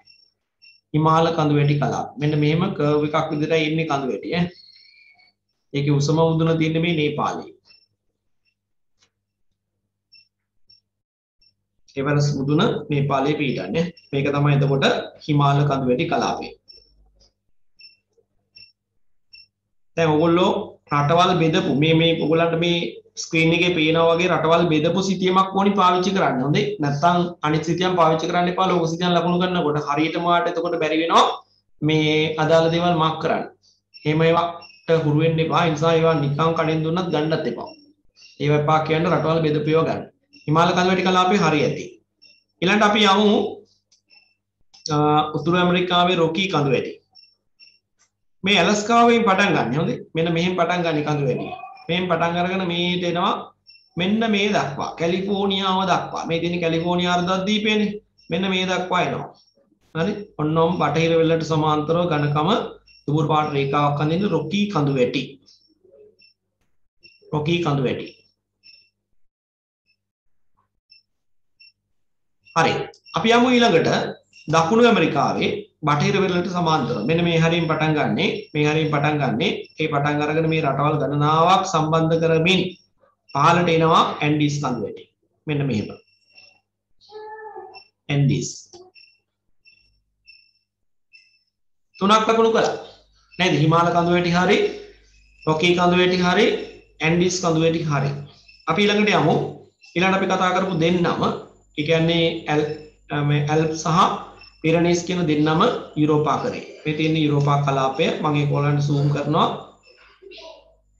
මීට වඩා සූම් කළොත් හඳුරගන්න අමාරුයි. ඉතාලිය හොයාගන්න ඔයාලගේ මැප් එකේ මේ තියෙන ඉතාලිය. හරි? ඉතාලිය. මේ ඉතාලියේ දේශ සීමා මේ තියෙන මෙන්න මේ සීමාව දිගේ තමයි තියෙන්නේ මේ ඇල්ප්ස් කඳුවැටි කලාපය. ඇල්ප්ස් මෙන්න මෙහෙම හරහාට අදින් මේ පැත්ත. ඇල්ප්ස් කඳුවැටි.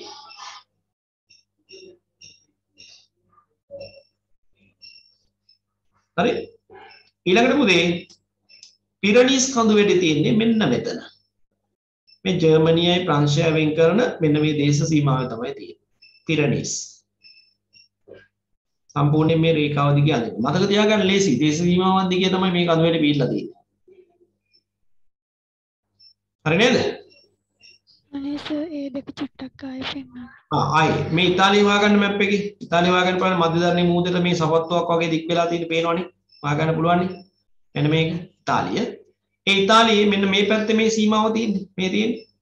මෙන්න මේ ටික අන්න ඒක දිගේ රේඛාවක් අඳින්න ඒක දිගේම ඕනේ නැහැ. ඒක මෙහෙම අඳින්න රේඛාවක්. ඔන්නෝම මේ තමයි ඇල්ප්ස් කඳුවැටි ඇල්ප්ස්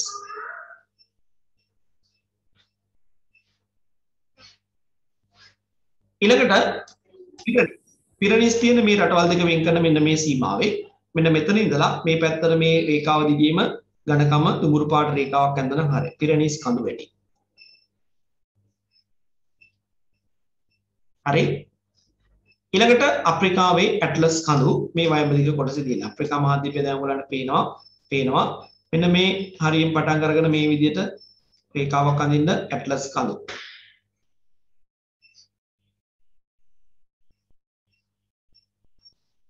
හොඳයි දැන් ඔය ලකුණු කළේ මතක තියාගන්න නිම්න ග්ලැසියර් නැත්නම් කඳු ග්ලැසියර් එහෙමත් නැත්නම් ඇල්පයින් ග්ලැසියර් කියන වර්ගය ව්‍යාප්තලා තියෙන ප්‍රමුඛම කලාප ටික ප්‍රමුඛම ප්‍රදේශ ටික. ඒ හැරෙනකොට කුඩා කුඩා කඳු වැටි කලාපවල මේ ග්ලැසියර් තව තියෙන ග්ලැසියර් නිර්මාණය වෙන ස්ථාන තව තියෙනවා. එහෙම නැත්නම් ওই තියෙන අන්තිම අවසාන ඔයිට එහා ඒවා නැහැ කියලා හිතන්න එපා. හොඳේ.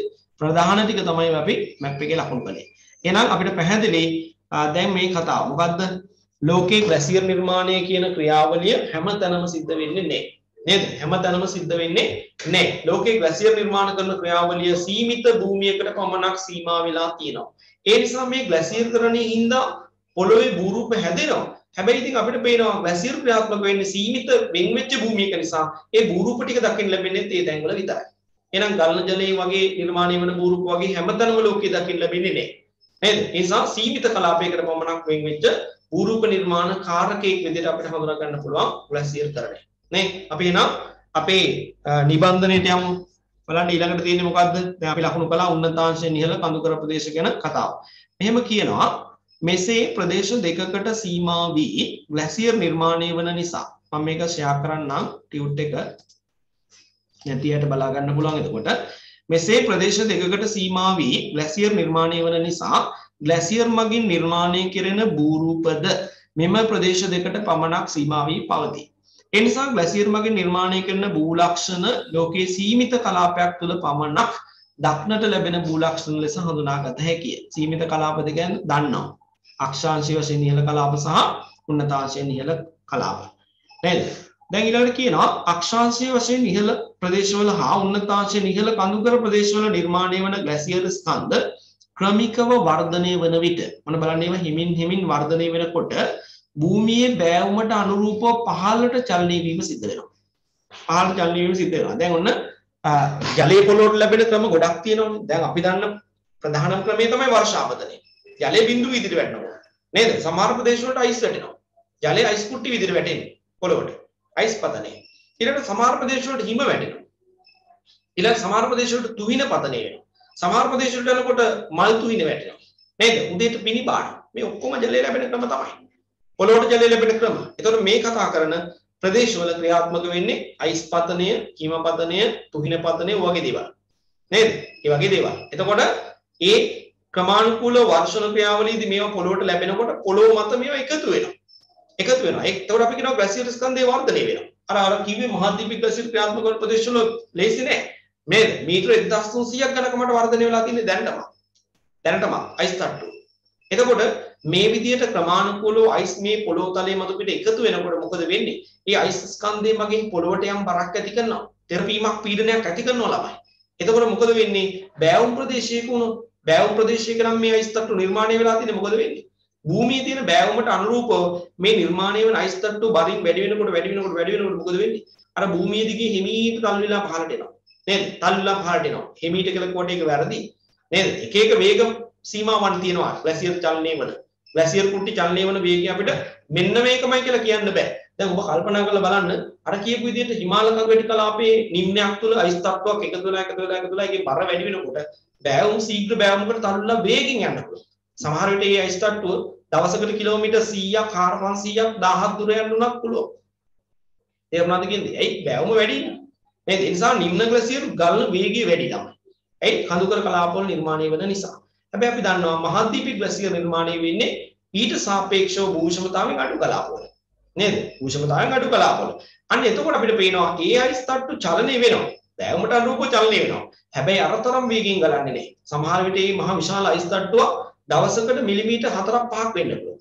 සෙන්ටිමීටර් කීපයක් වෙන්න පුළුවන්. නේද? එහෙම චලනය වීමක් සිද්ධ වෙනවා. කොහොම නමුත් මේ මහද්වීපික ග්ලැසියරුත් නිම්න ග්ලැසියරුත් කියන දෙකම දෙකම වර්ධනය වෙනකොට භූමියේ යම් බෑවුමක් තියෙනවා නම් ඒකට අනුරූපව චලනය වෙන්න බලනවා.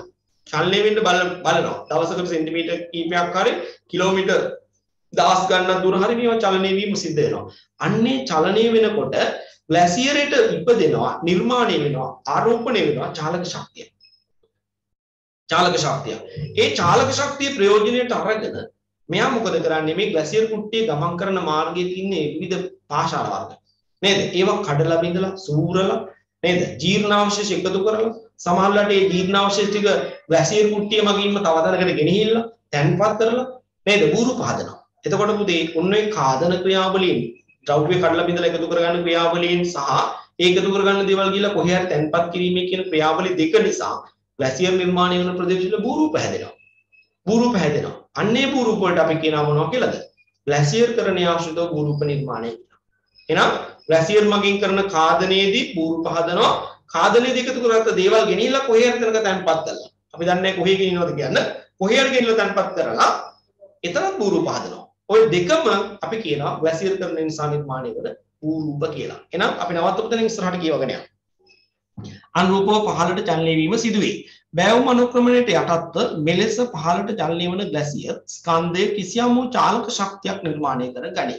මෙම චාලක ශක්තිය මගින් ග්ලැසියරේ ගමන් කරන මාර්ගයේ හමුවන පාෂාණ සූරා ගෙවා දමමින් එතන දාන්න මේ කමාවක් සූරා කියන තැනට කමාවක් සූරා ගෙවා දමමින් කඩාබිඳ විවිධ වර්ගයේ භූරූප නිර්මාණය කිරීම සිදු කරන්නා සේම. ඒක රාශී කරගන්නා ජීර්ණාවශේෂ ද්‍රව්‍ය පරිවහනය කොට නිදි සාධනය කිරීම නිසා. දැන් මේව අලුත් වචන නෙමෙයි. නේද? ගංගා ක්‍රියාවලියේදී නිදි සාධනය කතා කළානේ. ඒ කියන්නේ ද්‍රව්‍ය ගෙනියනේව තැන්පත් කිරීම. ඒක මෙතෙන්දී වෙනස් වෙන්න පුළුවන්ද? නෑ මෙතෙන්දිත් ඒකම තමයි මේ කියන්නේ. නිදි සාධනය කියන්නේ ග්ලැසියර් මගින් ගෙනියන දේවල් ටික කොහේ හරි තැන්පත් කිරීමම තමයි. නිදි සාධනය කිරීම නිසාද විවිධ වර්ගයේ භූලක්ෂණ නිර්මාණය කරයි. ඒවා මගින් නිර්මාණය වන භූලක්ෂණ ග්ලැසියර් මගින් නිර්මාණය වන භූලක්ෂණ නමින් හඳුන්වයි. එහෙනම් ග්ලැසියර් භූරූප කියලා මොනවද කියන්නේ කියලා අහුවොත් ප්‍රශ්නයක් දැන් උත්තරයක් තියෙනවද ඔළුවේ? ඈ ග්ලැසියර් භූරූප කියන්නේ මොනවද කියලා අහුවොත් මොකද්ද කියන්නේ? ඈ නිර්මාණය වන ග්ලැසියර් ස්කන්ධය චලනය වීමේදී උපදවා ගන්නා චාලක ශක්තිය ප්‍රයෝජනයටගෙන පාෂාණ ජීර්ණයට හා කාදනයට ලක් කිරීමෙන් සහ ජීර්ණාවශේෂ තැන්පත් කිරීම නිසා නිර්මාණය කරන භූලක්ෂණයක් වේද ඒවා ග්ලැසියර් භූරූප වේ. නේද? එහෙම කියාගන්න දැන් හැකියාවක් තියෙනවා. ඒවා මගින් නිර්මාණය වන භූලක්ෂණ ග්ලැසියර් නිර්මාණය වන භූලක්ෂණ නමින් හඳුන්වයි. ග්ලැසියර් නිර්මාණය වීම ලෝකයේ කලාප දෙකකට සීමා වන නිසා ග්ලැසියර් මගින් නිර්මාණය වන නිර්මාණය කරන භූලක්ෂණවල නිර්මාණ ක්‍රියාවලිය ප්‍රධාන අවස්ථා දෙකකට යටත්ව සාකච්ඡා කළ හැකියි. එහෙනම් මොනවද පුතේ දැන් මේ ග්ලැසියර් පූර්වපද්දනය කරන්න පුළුවන් කොටස් දෙක? කොටස් දෙක මොනවද? එකක් මහාද්වීපික ග්ලැසියර් ආශ්‍රිතව නිර්මාණය වන භූරූප. නේද? එහෙම නැත්නම් තව නම් කීපයක්ම තිබුණා. ඒවත් දාලා ඕනනම් කියන්න පුළුවන්. නේද? ආක්ටික් ග්ලැසියර් කරණයේ ආශ්‍රිත භූරූප. නැත්නම් මහාද්වීපික ග්ලැසියර් කරණයේ ආශ්‍රිත භූරූප එකක්. අනිත් නිම්න ග්ලැසියර්කරණයේ ආශ්‍රිත බූරුප. එහෙම නැත්නම් කඳු ග්ලැසියර්කරණයේ ආශ්‍රිත බූරුප. එහෙම නැත්නම් එහෙම නැත්නම් ඇල්පයින් ග්ලැසියර්කරණයේ ආශ්‍රිත බූරුප. නේද? එහෙනම් ඔන්න වර්ග දෙකක් අපිට කතා කරන්න පුළුවන්. අපි ලියමු වර්ග දෙක. එක. එක. මහද්වීපික ග්ලැසියර්කරණයේ ආශ්‍රිත. මහද්වීපික ග්ලැසියර්කරණයේ ආශ්‍රිත භූරූප. මහද්වීපික ග්ලැසියර්කරණයේ ආශ්‍රිත භූරූප.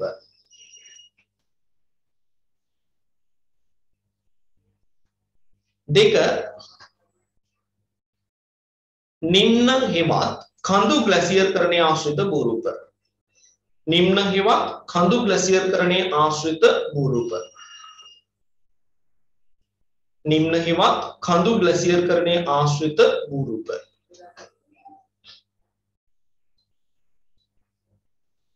හොඳයි. දැන් අපි මේ විදිහට මේ ග්ලැසියර් කරණය අංශුත භූරූප නිර්මාණය වන වැඩේ කොටස් දෙකකට බෙදාගත්තා ග්ලැසියර් වර්ග දෙක අනුව. නේද? මේ ප්‍රදේශ දෙක නිර්මාණය වන ග්ලැසියර් වර්ග දෙක දිහා බලලා එහෙම බෙදාගත්තා හැබැයි මතක තියාගන්න ග්ලැසියර් නිර්මා ග්ලැසියර් මගින් භූරූප නිර්මාණය කරන්නේ මොන බලවේගය මුල් කරගෙන කිව්වද අර නිම්න ග්ලැසියරුයි මහාදීප ග්ලැසියරුයි කියන දෙන්නම චලනය වෙනවා ඒ චලනය වෙනකොට උපදවා ගන්න චාලක ශක්තිය ප්‍රයෝජන කරන තමයි යා භූරූප හදන්නේ එතකොට මේ බූරූප හදන වැඩේදී වර්ග දෙකක් වෙන් කරලා හඳුනාගත්තට දෙන්නම කරන්නේ එකම පොදු ක්‍රියාවලිය. නේද? අපි දන්නවා බූරූප නිර්මාණය කරන හැම අය හැම දෙනාම නේද? බූරූප නිර්මාණය කරන හැම දෙනාම උදේ මට විනාඩියක් දෙන්න.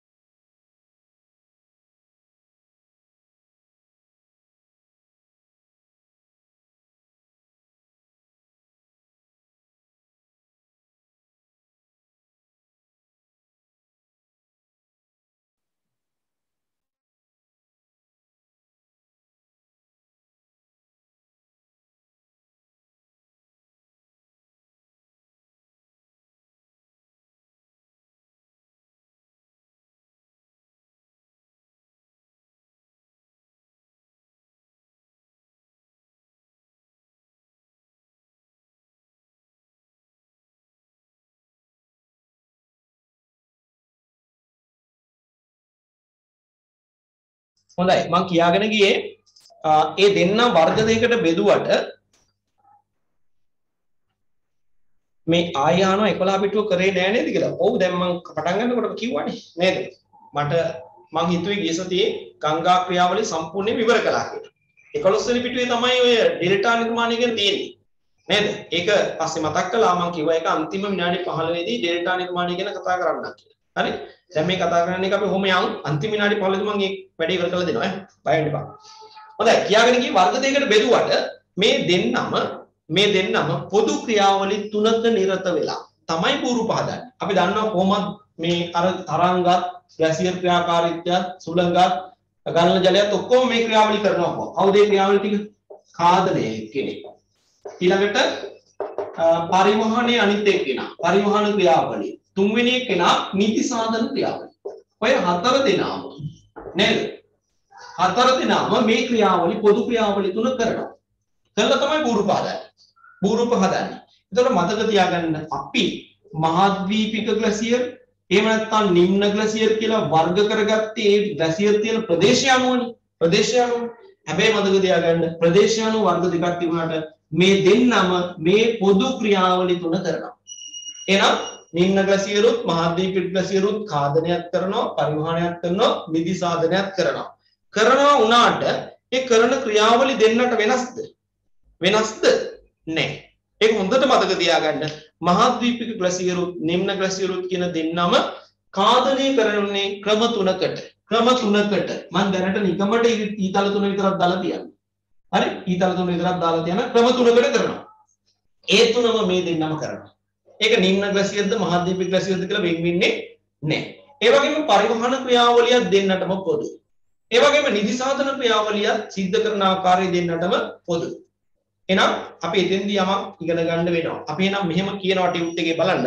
ඉහත සඳහන් කළ ප්‍රධාන අවස්ථා දෙකට යටත්. මොකද්ද?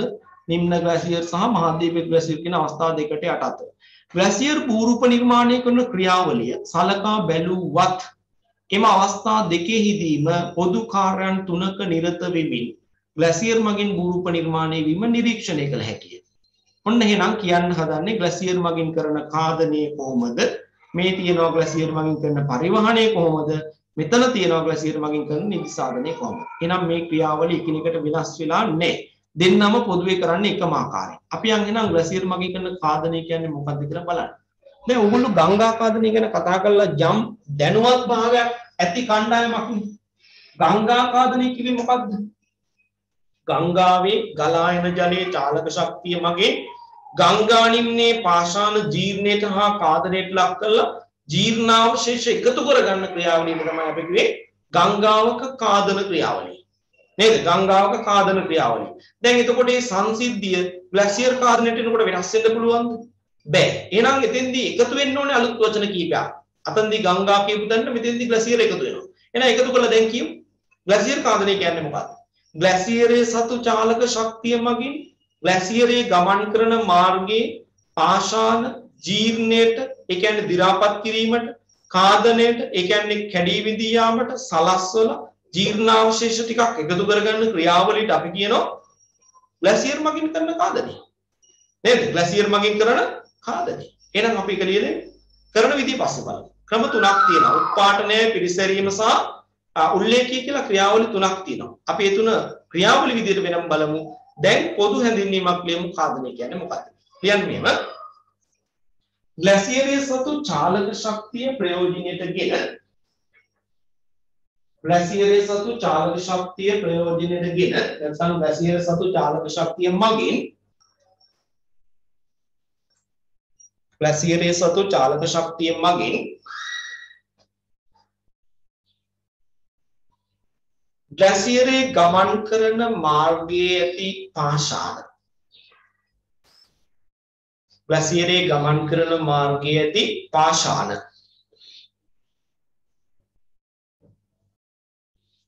ජීර්ණයට හා කාදනයට ලක්කොට ජීර්ණයට හා කාදනයට ලක්කොට ජීර්ණයට හා කාදනයට ලක්කොට ජීර්ණාවශේෂ ඒකරාශීකරණ ජීර්ණාවශේෂ ඒකරාශීකරණ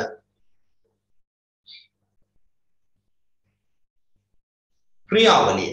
ජීර්ණාවශේෂ ඒකරාශීකරණ ක්‍රියාවලිය.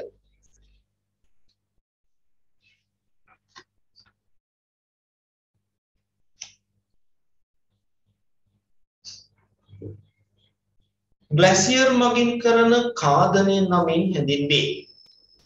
ග්ලැසියර් මගින් කරන කාදනය නමින් හැඳින්වේ.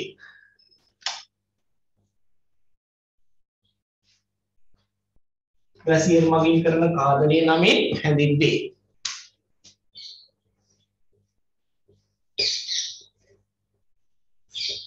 මෙය ආකාර තුනකින් සිදුවේ.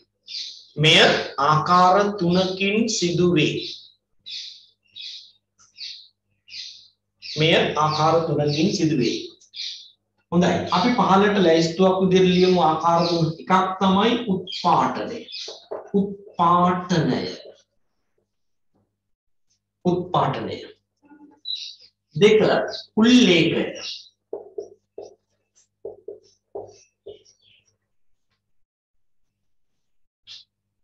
උත්පාටනය උල්ලේඛය ඊළඟ එක්කෙනා පිරිසැරීම. උත්පාටනය උල්ලේඛය පිරිසැරීම.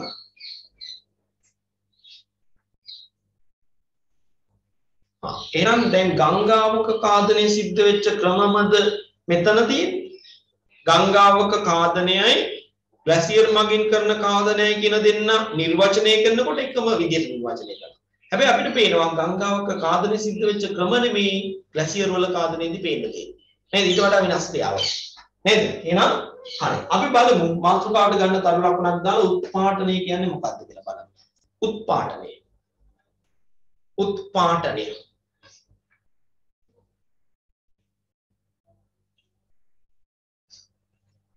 උත්පාටනය. මෙතෙන්දි පුතේ උත්පාටනය කියලා කියන්නේ උදුරා ගලවා ගැනීම කියන සරල අදහස. උදුරලා ගලවලා ගන්න ඕන. මොනවද? ග්ලැසියරේ ගමන් කරන මාර්ගයේ තියෙන මතුවලා තියෙන පාෂාණ කුට්ටි ගලවලා උදුරලා ගන්නවා නම් කුට්ටි විදියටම අන්න ඒකට අපි කියන උත්පාදනය. මේ වැඩේ මෙහෙම වෙන්නත් පුළුවන්. ග්ලැසියරේ නිර්මාණය වන ප්‍රදේශයේ මේ විශාල පාෂාණ පෘෂ්ඨයේ මත පිට තියෙන්න පුළුවන් අර මේ මොනවද ගල් වන වගේ දේවල් නේද? විවිධ අපි ඉගෙන ගත්තනේ ගංගාවක් යාවලි ගල් වන කියන්නේ මොනවද? නේද? පාෂාණ පෘෂ්ඨයේ මත පිට නිර්මාණය වෙන විවිධ විස්කම්භයන්ගෙන් යුක්ත විවිධ ගැඹුරින් යුක්ත ආවට. ඒවා තියෙන්න පුළුවන්. සමහරවිට ග්ලැසියර් නිර්මාණය වෙන්න කලින් ව ජලයෙන් පිරලා තියෙනවා. නේද? ජලයෙන් පිරලා තියෙනවා. ඒ ජලයෙන් පිරලා තියෙනකොට ඒවා අර හිමාංකයට වඩා පහළ උෂ්ණත්වයක් පරිසරයේ නිර්මාණය වෙලා නිර්මාණය වෙලා අර අයිස් ජලයේ ටික අයිස් බවට පෙරලෙනවා. එතකොට අපි දන්නවා පරිමාණය පරිමාව වැඩි වෙලා අර කුහරය තුළ අයිස් ටික තෙරපීමක් පීඩනයක් ඇති කරනවා. මොකද වෙන්නේ? අර කුහරයේ වටේ පාශාල බිත්තියේ කුට්ටි ගැලවිලා යන්න පුළුවන්. කැඩලා බිඳලා යන්න පුළුවන්. ඒ වගේම තමයි අයිස් තට්ටු නිර්මාණය වෙලා අයිස් තට්ටු අපි කියන්නේ චලනය වෙනවා කියලා පහළට. නේද? චලනය වෙනකොට අර කුහරය ඇස්සේ තියෙන අයිස් ටිකත් එක්ක යම් තෙරපීමක් පීඩනයක් ඇති කරනවා. අන්න එතකොට සමහරවිට ප්‍රධාන පාෂාණ කුට්ටියෙන් කෑල්ලක් කඩලා ගන්න පුළුවන්. මෙන්න මේ විදිහට කෑලි උදුරලා ගලවලා ගන්නවා නම් අන්නේ ක්‍රියාවලියට අපි කියනවා උත්පාටන ක්‍රියාවලිය. උත්පාටන ක්‍රියාවලිය. එහෙනම් අපි ලියමු උත්පාටනය කියන්නේ මොකක්ද කියලා. තේරුම් නැත්නම් අද උස්සන්න මම ආයි කියන්නම්. හරි? උත්පාටන ක්‍රියාවලිය. ලියන්න. මෙහි සරලාර්ථය වන්නේ මෙහි සරලාර්ථය වන්නේ මෙහි සරලාර්ථය වන්නේ ග්ලැසියරයේ ගමන් කරන මාර්ගයේ ග්ලැසියරය ගමන් කරන මාර්ගයේ මතුවී ඇති පාෂාණ කුට්ටි මතුවී ඇති පාෂාණ කුට්ටි. පාෂාණ කුට්ටි ගැලවී යාමයි. මතුවී ඇති පාෂාණ කුට්ටි ගැලවී යාමයි.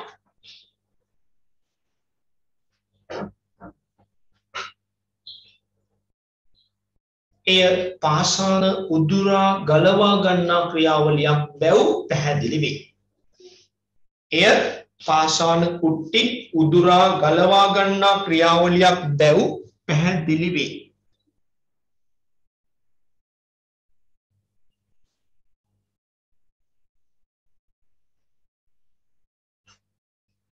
පාෂාණ පෘෂ්ඨයේ පාෂාණ පෘෂ්ඨයේ ඇති විවර තුල පාෂාණ පෘෂ්ඨයේ ඇති විවර තුල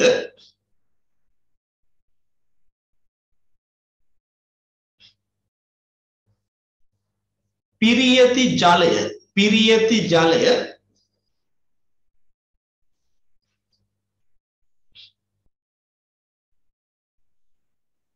අයිස් බව අයිස් බවට පරිවර්තනය වූ විට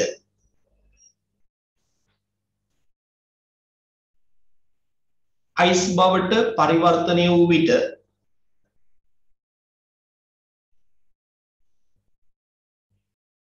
අයිස් බවට පරිවර්තනය වූ විට කුට්ටි ලෙස සොරි පරිමාව වැඩි වී පරිමාව වැඩි වී පරිමාව වැඩි වී කුට්ටි ලෙස ගැලවී යමින් කුට්ටි ලෙස ගැලවී යමින් කුට්ටි ලෙස ගැලවී යමින් ග්ලැසියරයට එකතු වේ. කුට්ටි ලෙස ගැලවී යමින් ග්ලැසියරයට එකතු වේ.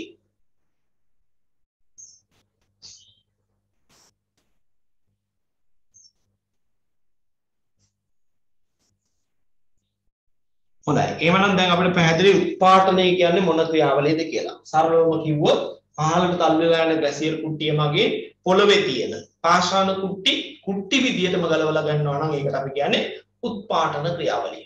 උත්පාටන ක්‍රියාවලිය. අපි අංක දෙක මාතෘකාවට ගමු. දරු ලකුණක් දාලා ඉන එක්කෙනා ගන්න. උල්ලේඛය. උල්ලේඛය. උල්ලේඛය. හොඳයි. දැන් ඔබ කල්පනා කරන්න උත්පාටන ක්‍රියාවලින් ගලවගත්ත ගල් කුට්ටි ටිකක් අයිස් තට්ටු යට තියෙනවා. නේද? අයිස් තට්ටු පහළට තල්ලු යන අයිස් තට්ටු යට තියෙනවා. ඒ ටික හරියටම මේ යකඩ උල් වගේනේ නේද? යකඩ උල් වගේ යකඩ සපත්තුවක් ගැන හිතන්නකෝ. දැන් ඔබ දැකලා ඇති ක්‍රීඩා කරන්න ගන්නකොට අර නේද යකඩ උල් හයි කරපු සපත්තුවක් ක්‍රීඩකයෝ දානවා. දැකලා ඇති නේද? අන්න ඒ වගේ එකක් නෙමේ ග්ලැසියරේ දැන්. ඇයි උත්පාදන ක්‍රියාවලිය සිද්ධ වෙලා මේ ගල් කුට්ටි ටිකක් උදුරගෙන ඉන්නවා දැන්. උදුරගෙන ඉන්නවා.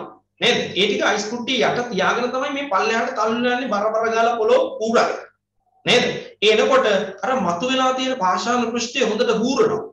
අන්නේ ඌරීම ඒ සීරීම තමයි අපි කියන්නේ මේ උල්ලේඛ ක්‍රියාවලිය. උල්ලේඛ ක්‍රියාවලිය. එහෙනම් පහළට චලනය වන ග්ලැසියර් කුට්ටිය මගින් පොළව සූරා දැමීම නේද? පොළව සූරා දැමීමට අපි කියනවා උල්ලේඛ ක්‍රියාවලිය. අපි ලියමු. උල්ලේඛයේ යනු සීරියාමයි. උල්ලේඛයේ යනු සීරියාමයි.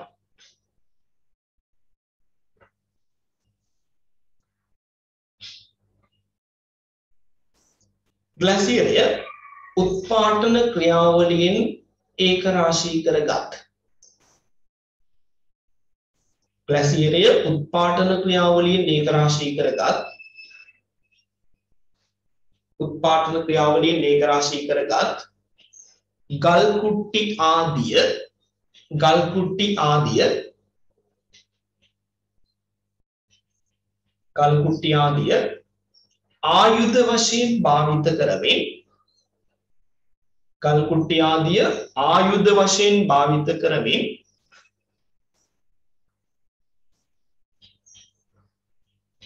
ග්ලැසියර් නිම්නයේ ඇති පාෂාණ පෘෂ්ඨය සූරා දැමීම.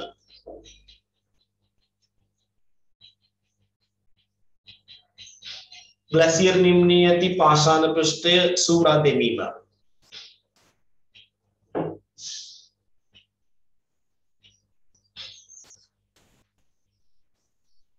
උල්ලේඛය නමින් හැඳින්වේ.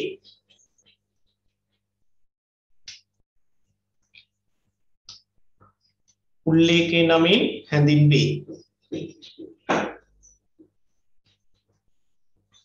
හොඳයි ඊළඟට ගන්න පොතේ තුන්වෙනි එක නම පිරිසැරීම. පිරිසැරීම. පිරිසැරීම. දැන් මේක පැහැදිලි කරන්න මම හොඳ උදාහරණයක් ගන්නම් ඔබ දැකලා ඇති වඩු මඩුවල ඒ කියන්නේ ලී වැඩ කටයුතු කරන අය මොනවද උල්වෝ ජනේල කපන තැන්වල වඩු මඩුවල තියෙන උපකරණයක් මේ ලී යතු ගෑම සඳහා ගන්න මේ අපේ එකට කියන්නේ යතු කැටය. නේද? යතු කැටය. මේ යතු කැටේ මොකද කරන්නේ? දැන් නම් ග්‍රයින්ඩර්ස් තියෙනවනේ. නේද? යතු කැට දැන් ඔය කියන වඩු මඩුවල පාවිච්චි වෙන්නේ නැහැ.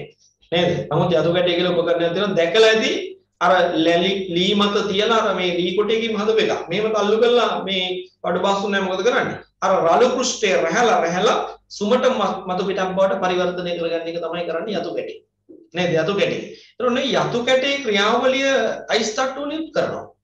යතු කැටයක් මගින් කරන ක්‍රියාවලිය මේ අයිස් කුට්ටිය මගිනුත් කරනවා. පහළට චලනය වෙලා යන අයිස් කුට්ටිය මගින් ඒ වැඩේ කරනකොට අපි ඒකට කියනවා පිරිසැරීම. එතකොට බලන්න දැන් ග්ලැසියරේ තල් වෙලා යනවා පහළට. ඒ තල් වෙලා යනකොට මතුවෙච්ච පාෂාණ පෘෂ්ඨයක් පහළ තියෙනවා. නේද? අර අර උත්පාදන ක්‍රියාවලිය එකතු කරත් ගල් කුට්ටි ඊළඟට උල්ලේකෙන් එකතු කරත් ද්‍රව්‍ය වැලි බොඩළු වගේ දේවල් තියෙනවා. මේවා ඔක්කොම අරගෙන අර මතුවලා තියෙන පාෂාණ පෘෂ්ඨයේ මතින් තල් වෙලා මෙහෙම යනවා. තල් වෙලා යනවා. මේක වරක් දෙකක් නෙමෙයි 10000 වාරයක් සිද්ධ වෙන්න පුළුවන්.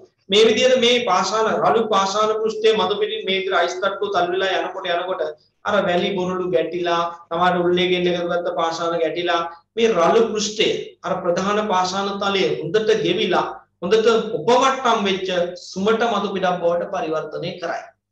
නේද? පරිවර්තනය කරයි. අන්නේ සුමට මතු පිටක් බවට පරිවර්තනය කරන ක්‍රියාවලියට තමයි අපි කියන්නේ මේ පිරිසැරීම කියලා. පිරිසැරීම. එහෙනම් ඔබට පැහැදිලි ඇති මේ ග්ලැසියරයක් මගින් කරන කාදනයේ ස්වරූප ටික. නේද? උත්පාදනය කියන්නේ පාෂාණ කුට්ටි උද්දුරලම ගලවලා ගන්නවා. උල්ලේඛය කියලා කියන්නේ ඒවත් පාවිච්චි කරලා තවත් ඉස්සරහට යනකොට පොළොව බූරා යම් යම් දේවල් එකතු කරගන්න වැඩි. තුන්වෙනුව කියනවා පිරිසැරීම කියලා කියන්නේ ග්ලැසියරේ ගලා යන නිම්නේ මතුවෙච්ච පාෂාණ ස්කන්ධයක් තියෙනවනම් ඒක උඩින් මේ තට්ටු අයිස් තට්ටුව යනකොට වැලි ටික බොරුළු ටික දාලා අරක රළු මතු පිට ගෙවලා ගෙවලා ගෙවලා ගෙවලා අපි වැලි කඩ දාසින් කරන්නේ මොකද්ද? රළු මතු පිට සුමට කරගන්න එකනේ. නේද? ඒ වගේ අර වැලි කඩ දාසින් කරන ක්‍රියාවලිය මෙයා අර පාෂාණ පෘෂ්ඨයේ මතු පිට සිද්ධ කරනවා. ඒ සිද්ධ කිරීම නිසා අපිට පේනවා බොහොම හොඳට ගෙවිලා ගිය රළු මතු පිටක් නැති සියුම් සුමට මතු පිටක් ඇති පාෂාණ පෘෂ්ඨයක් නිර්මාණය කරනවා නම් ඒක තමයි පිරිසැරීම කියලා කියන්නේ. පිරිසැරීමේ ක්‍රියාවලිය කියලා කියන්නේ. අපි ලියමු පිරිසැරීම ගැන. ලියන්න. මෙම ක්‍රියාවලිය ලී යතුගෑමේ ක්‍රියාවලියට. මෙම ක්‍රියා මාතෘකාවට ගන්න පිරිසැරීම අපිට කියන්න බැරුණා පිරිසැරීම. මෙම ක්‍රියාවලිය ලී යතුගෑමේ ක්‍රියාවලියට ලී යතුගෑමේ ක්‍රියාවලියට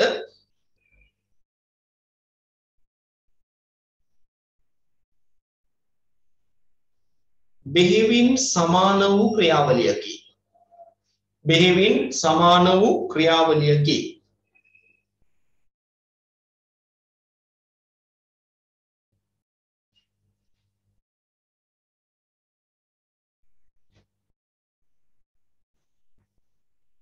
කාදනයේදී ඒක රාශී කරගත් වැලි බොරලු ආදී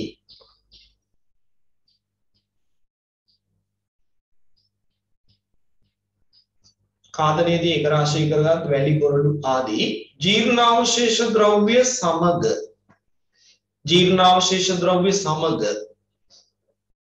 සපොඩ හව කියන්නව කොතන ඉඳලාද? කාදනයේදී ඒක රාශී කරගත් කාදනයේදී ඒක රාශී කරගත් වැලි බොරලු ආදී ජීර්ණාවශේෂ ද්‍රව්‍ය සමග වැලි බොරලු ආදී ජීර්ණාවශේෂ ද්‍රව්‍ය සමග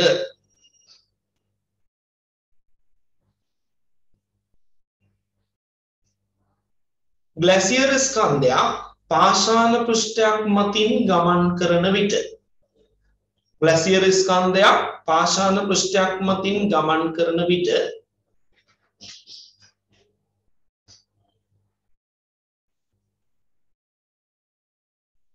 එහි රළු පෘෂ්ඨය ගෙවා එහි රළු පෘෂ්ඨය ගෙවා එහි රළු පෘෂ්ඨය ගෙවා සුමට මතු පිටක් නිර්මාණය කරයි.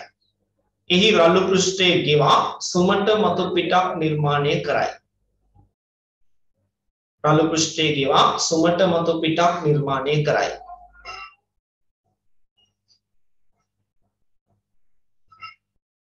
මෙම ක්‍රියාවලිය මෙම ක්‍රියාවලිය පිරිසැරීම නමින් හැඳින්වේ. මෙම ක්‍රියාවලිය පිරිසැරීම නමින් හැඳින්වේ.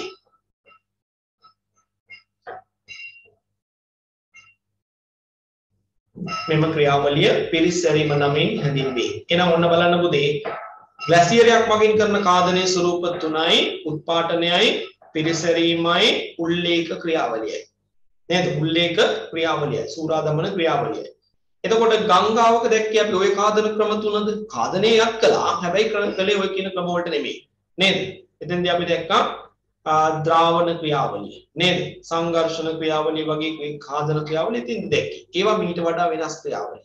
එහෙනම් මතක තියාගන්න ගංගාවත් වැසියර් කුට්ටියක් කියන දෙන්නම ඌරු පහදනකොට කාදනය කියන දේ කරනවා. හැබැයි අරයා කරන කාදන ක්‍රම නෙමෙයි මෙයා. නේද? කරන ආකාරය වෙනස්. ඒක වැදගත්. අපි යන් ටියුට් එකේ ඊළඟ කොටසට. දැන් කාදන ස්වරූප ටික අපි පැහැදිලි කරගත්තා. ඊළඟට තියෙන්නේ අපිට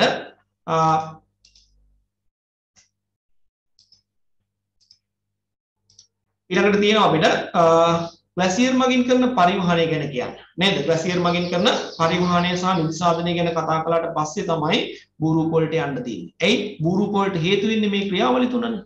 නේද? මේ තුන කළානේ මේගොල්ලෝ බූරුප හදන්නේ. එහෙනම් අපි බලමු ග්ලැසියර් මගින් කරන පරිවහනය. පරිවහනය කියන්නේ පුතේ කාදන අවස්ථාවේදී ජීර්ණාවශේෂ යම් ප්‍රමාණයක් එකතු කර ගන්න. එතන ගල් කුට්ටි තියෙන්න පුළුවන් උත්පාදනයක එකතු කරගත්ත නේද? වැලි බොරළු රෝන් මඩ මැටි අංශුව තියෙන්න පුළුවන්. නේද? ග්ලැසියර් කුට්ටිය ওই ටික අර පහළට තල්ලු වෙලා යනකොට අරගෙන යනවා. නේද? තිබිච්ච තැනින් කඩා විඳගත්ත තැන තියන්නේ නැහැ. ග්ලැසියර් කුට්ටියට පුළුවන් නම් ඒ ටික පුළුවන් තරම් දුර අරන් යනවා. මෙන්න මේ ගෙන යන ක්‍රියාවලියට උපකාරී වෙන්නේ එයා ළඟ තියෙන චාලක ශක්තියමයි. ඒ නිසා අපිට කියන්න බෑ ජීර්ණාවශේෂ කොච්චර දුරක් ගෙනිනවද කියන එක. බෑවුමට අනුරූපව ගලන දුර ප්‍රමාණය මත තමයි පරිවහන දුර කියන එක තීරණය වෙන්නේ. නේද? සමහර විට සමහර විට වැසියර් කුට්ටිය තල්විලා තල්විලා ගිහිල්ලා තැන්නකට ආවා කියනවා. තැන්නකට ආවන් තාත් ඉස්සරහට තල්ලා යන්න බෑනේ ළමයි. බෑවුම නෑනේ. නේද? බෑවුම ශීඝ්‍රතාවය අඩුයිනේ.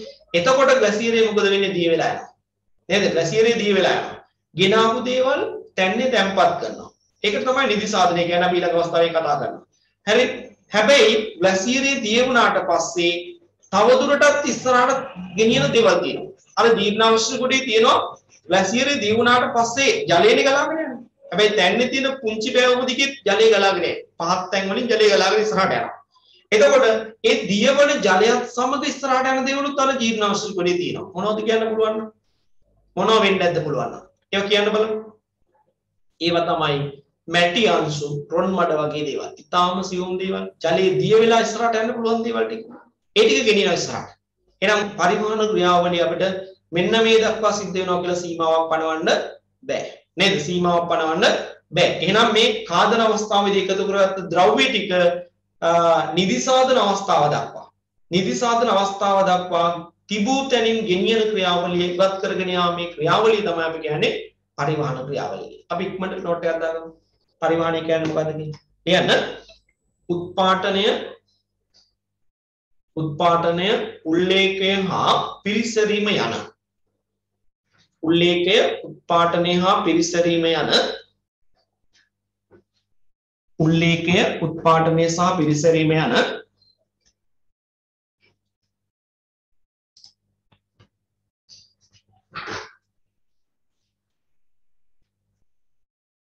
කාදන ක්‍රියාවලි ත්‍රිත්වය මගින් ඒකරාශී කරගත් කාදන ක්‍රියාවලි ත්‍රිත්වය මගින් ඒකරාශී කරගත් කාදන ක්‍රියාවලි ත්‍රිත්වය මගින් ඒකරාශී කරගත් ජීර්ණාව ශේෂ. ජීර්ණාව ශේෂ.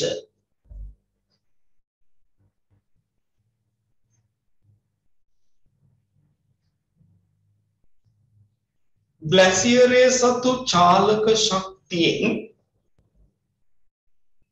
ග්ලැසියරේ සතු චාලක ශක්තියෙන්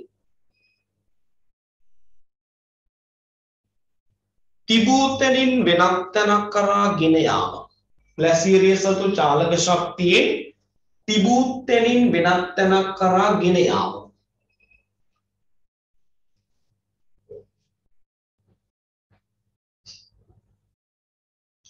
ග්ලැසියර් මගින් කරන පරිවහනය නමින් හැඳින්වේ.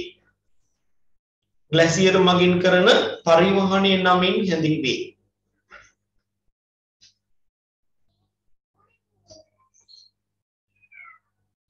ග්ලැසියර් මගින් කරන පරිවහනය නමින් හැඳින්වේ. පරිවහනය කරන දුර ප්‍රමාණය පරිවහනය කරන දුර ප්‍රමාණය පරිවහනය කරන දුර ප්‍රමාණය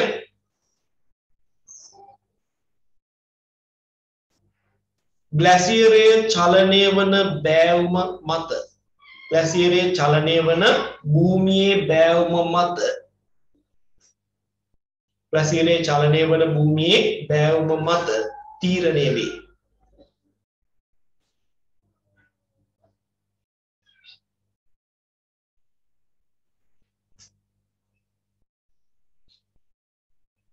ඇතැම් විට ග්ලැසියරය තැන්නකට පැමිණි පසු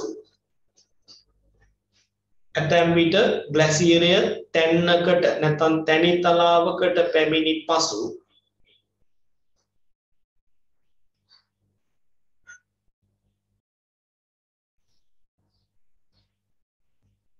තවදුරටත් චලනය වීම සිදු නොවේ.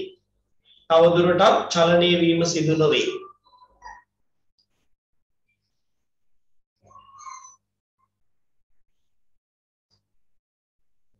නමුත් ග්ලැසියරය දියවීයාම සිදුවේ නම් නමුත් ග්ලැසියරය දියවීයාම සිදුවේ නම් ග්ලැසියරය දියවීයාම සිදුවේ නම්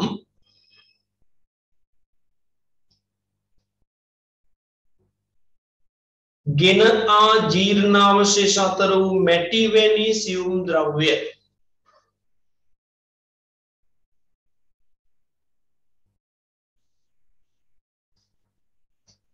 ගෙන ආ මැටිවැනි සියුම් ද්‍රව්‍ය දියවී යන ජලයත් සමග තවත් ඉදිරියට මැටිවෙනි ද්‍රව්‍ය දියවී යන ජලයත් සමග තවත් ඉදිරියට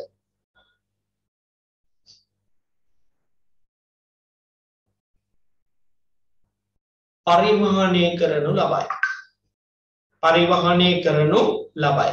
නැත්නම් පරිවහනය කෙරේ. හොඳයි. දැන් ඔයගලන්ට පේනවා එනම් ග්ලැසියරේ කාදනයේදී යම් යම් ද්‍රව්‍ය එකතු කරගන්නවා ගලා යන ඒ ග්ලැසියර් කුට්ටිය සතුව තියෙන ජාලක ශක්තියෙන් ඒ එකතු කරගන්න දේවල් ඉස්සරහට ගෙනියනවා. ඒක පරිවහනය. දැන් මේ ක්‍රියාවලිය අඛණ්ඩ නැහැ. මං කිව්වා ග්ලැසියරේ තැන්නකට එනවා. තැනිතලාවට ආවට පස්සේ තව ඉස්සරහට යන්න බෑ යාට. ඇයි බෑව මාඩුයි. ඒ නිසා මෙයා මොකද කරන්නේ? දිය වෙලා යනවා. නේද? ග්ලැසියර් කුට්ටිය දිය වෙලා යනවා. දිය වෙනකොට අපි දන්නවා අයිස් බවට. අයිස් පෙරලෙන්නේ ජලයේ බවට. ද්‍රව තත්ත්වයට. එතකොට මේ ජලය සමග තවදුරටත් ඉස්සරහට යන දෙන්නෙක් ඉන්නවා මැටි අංශු සහ රොන් බඩ වගේ දේවල්. නේද? ඒ හැරුණකොට මේ ග්ලැසියර් දෙන ගල් කුට්ටි, වැලි ටික, බොරළු ටික, ඒ වගේ දේවල් ටික ඔක්කොම මොකද කරන්නේ? ග්ලැසියරේ දිය වෙලා යන තැන්න මත, ඒ ස්ථානයේ මත තැන්පත් කරනවා. අන්න ඒ ක්‍රියාවලියට අපි කියනවා මොකද නිදි සාධන ක්‍රියාවලිය. හැබැයි අපි දැක්කා ගඟක නිදි සාධනය හරි පිළිවෙලයි. නේද? ගංගා නිම්නයක වැලි තට්ටුවක් නිර්මාණය වෙච්ච නිදියක් ගත්තොත් ඒක අපිට පේන ලොකුම ටික තමයි යටම තට්ටුවේ අහුල්ලා තිබුණේ. නේද? ලොකුම කුට්ටි. ඊළඟට පුංචි පුංචි දේවල් ඊළඟට. ඔහොම ඔය අන්තිමට තමයි අර වැලි රොන් මේ වැලි තට්ටුව මත රොන් මඩ මඩ වගේ දේවල් සියුම් දේවල් තැන්පත් කරලා තියෙනවා. ඒ නිසා මේ නිදි සාධිත නිදියක් බැලුවොත් හරස්කඩ කපලා ගඟක හරස්කඩ ගඟක නිදි සාධන වෙච්ච ජීර්ණාවශේෂ නිදියක හරස්කඩ බැලුවොත් පිළිවෙල අපි දැක්කා. බරම ජාති ටික යටින් ඊට වඩා බර අඩු වෙන්න අඩු වෙන්න අඩු වෙන්න අඩු වෙන්න දේවල් තමයි ඉහළට අහුරලා තිබුණේ. අහුරලා පිළිවෙලට තිබුණා. නේද? එහෙනම් ගඟක නිදි සාධන ක්‍රියාවලිය පිළිවෙලයි. පිළිවෙලයි ළමයි වගේ. හැබැයි මේ ග්ලැසියර් මගින් කරන නිදි සාධන ක්‍රියාවලිය එහෙම නැහැ. මෙන්න බෑවුම දිගේ ග්ලැසියර් කුට්ටිය එනවා තැන්නකට ආවා. මේ ග්ලැසියර් කුට්ටිය තැන්නට ආවට පස්සේ මේක දිය වෙලා ජලයේ විදිහට යනවා. ගෙනාවු ගල් කුට්ටි, බොරළු, වැලි මේ තැන්න මත ඔහේ ඔහේ විසිරුවල දානවා. කිසි පිළිවෙලක් නැහැ. නේද? එහෙනම් අපිට පේනවා ග්ලැසියරය මගින් සිදු කරන නිදි සාධනය ගංගා මගින් සිදු කරන පිළිවෙල නිදි සාධනය වගේ නෙමෙයි. නේද? අපිළිවෙල අක්‍රමවත් නිදි සාධනයක් තමයි තියෙන්නේ. ග්ලැසියර් කුට්ටිය දී වෙලා ගියා වගකීමක් නැතුව ඔහේ තැන්න තන්නේ තැන්න මත ගල් කුට්ටිද වැලිද බොරළුද හැමදේම අහුරලා දාලා එයා නිදහස් වෙලා යන්න යනවා. නේද? ඒ නිසා ග්ලැසියර් මගින් කරන නිදි සාධනය අපිට පේනවා අපිළිවෙල වූ නිදි සාධනයක්. අපි පොඩ්ඩක් ඔය පිම්මෙම නිදි සාධනය ගැනත් ලියමු. ලියන්න. ග්ලැසියරයේ සතු චාලක ශක්තියෙන් ග්ලැසියරයේ සතු චාලක ශක්තියෙන් ග්ලැසියරයේ සතු චාලක ශක්තියෙන් පරිවහනය කරන ජීර්ණාවශේෂ පරිවහනය කරන ජීර්ණාවශේෂ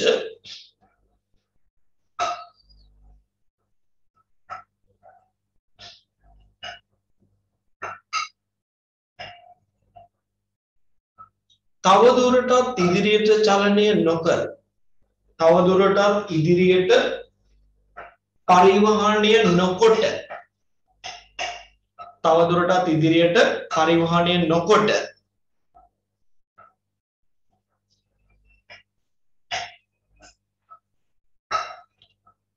තැන්පත් කිරීමක් සිදු කරන විට තවදුරටත් පරිවහනය නොකොට තැන්පත් කිරීමක් සිදු කරන විට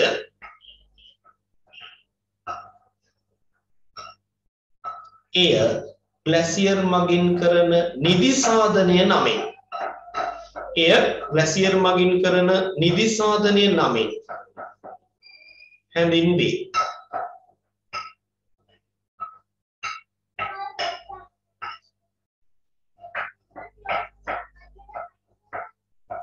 ග්ලැසියරය තැන්නකට අවතීර්ණ වූ විට ග්ලැසියරය තැන්නකට අවතීර්ණ වූ විට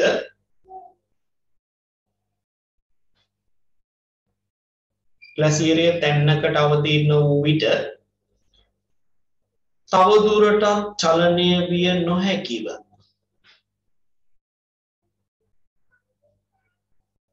තවදුරටත් චලනය විය නොහැකිව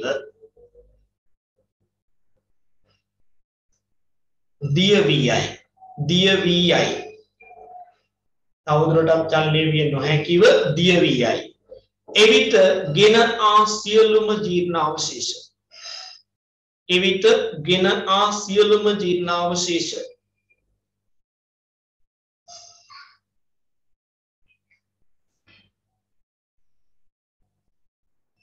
අවිධිමත් ආකාරයෙන් තැන්න මත තැන්පත් කරයි.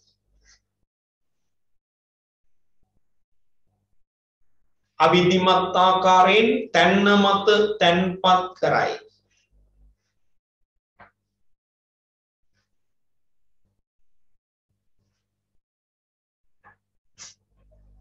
මේ නිසා ග්ලැසියර් වල අවිධිමත් වූ නිදිසාධනයක් මේ නිසා ග්ලැසියර් වල අවිධිමත් නැත්නම් අක්‍රමවත් නිදිසාධනයක්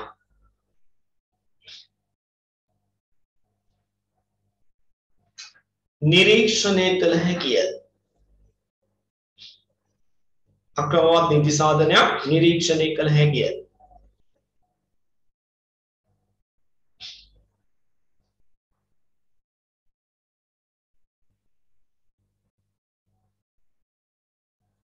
හොඳයි. එතකොට දැන් ඔය කියපු කාදන ක්‍රියාවලියෙන් සහ නිදි සාධන ක්‍රියාවලියෙන් තමයි ළමයි ග්ලැසියර් බූරු පහදන්නේ. නේද? බූරු පහදන්නේ කාදන ක්‍රියාවලියෙන් සහ නිදි සාධන ක්‍රියාවලියෙන්. ඒ නිසා අපිට පුළුවන්කම තියෙනවා ග්ලැසියර් මගින් නිර්මාණය වන බූරූප මොන ග්ලැසියර්ද? නිම්න ග්ලැසියර් සහ මහද්වීප ග්ලැසියර් කියන දෙකම. හරි ඒ නිසා නිර්මාණය වන බූරූප අපිට පුළුවන් කොටස් දෙකකට බෙදන්න. මොනවද කොටස් දෙක? ඒ දෙන්නම නිම්න ග්ලැසියරුයි මහාද්වීප ග්ලැසියරුයි කියන දෙන්නම කාදනයෙන් නිර්මාණය කරන භූරූප තියෙනවා. හරි? ඒ දෙන්නම නිදි සාධනයෙන් නිර්මාණය කරන භූරූපක් තියෙනවා. අපිට ඔතෙන්දී මෙහෙම දෙයක් කරන්න පුළුවන්. නිම්න ග්ලැසියර් වලයි මහාද්වීපික ග්ලැසියර් වලයි කාදන ක්‍රියාවලින් මගින් නිර්මාණය කරන භූරූප එකිනෙකට වෙනස්. එකිනෙකට වෙනස්. ඒ නිසා අපිට පුළුවන්කම තියෙනවා නිම්න ග්ලැසියර් කාදිත භූරූප ටික වෙනමයි මහත්තිපික් ග්ලසියර් කරණයේදී කාන්තිනය නිර්මාණය වන බෝරුප ටික වෙනමයි කතා කරන්නේ. ඔන්න තේරුම් ගන්න ඉස්සරහට වැඩේ යන විදිය. නිම්න ග්ලසියර් කාදිත බෝරුප වෙනම කතා කරන්න පුළුවන්. මහත්තිපික් ග්ලසියර් කරණයේ කාදන ක්‍රියාවලින් නිර්මාණය වන කාදිත බෝරුප වෙනම කතා කරන්න. හැබැයි මතක තියාගන්න නිදි සාධන ක්‍රියාවලියේදී අපිට පේනවා මේ දෙන්නගෙම පොදු බෝරුප ටිකක් තමයි නිර්මාණය වෙන්නේ. නේද? ඒ නිසා අපි නිදිසාදිත භූරූප කතා කරනකොට නිම්න ග්ලැසියර් වලත් මහද්වීපික ග්ලැසියර් වලත් නිදිසාදිත භූරූප අපි එකට කතා කරනවා. දැන් පැහැදිලි වෙන්නේ නැති වැඩි. නේද? ප්‍රදේශ අනුව ගත්තාම මහද්වීපික ප්‍රදේශ අනුව ගත්තාම ග්ලැසියර් නිර්මාණය වෙන ප්‍රදේශ දෙකක් තිබුණා. නිම්න ග්ලැසියර් ප්‍රදේශ සහ මහද්වීපික ග්ලැසියර් ප්‍රදේශ.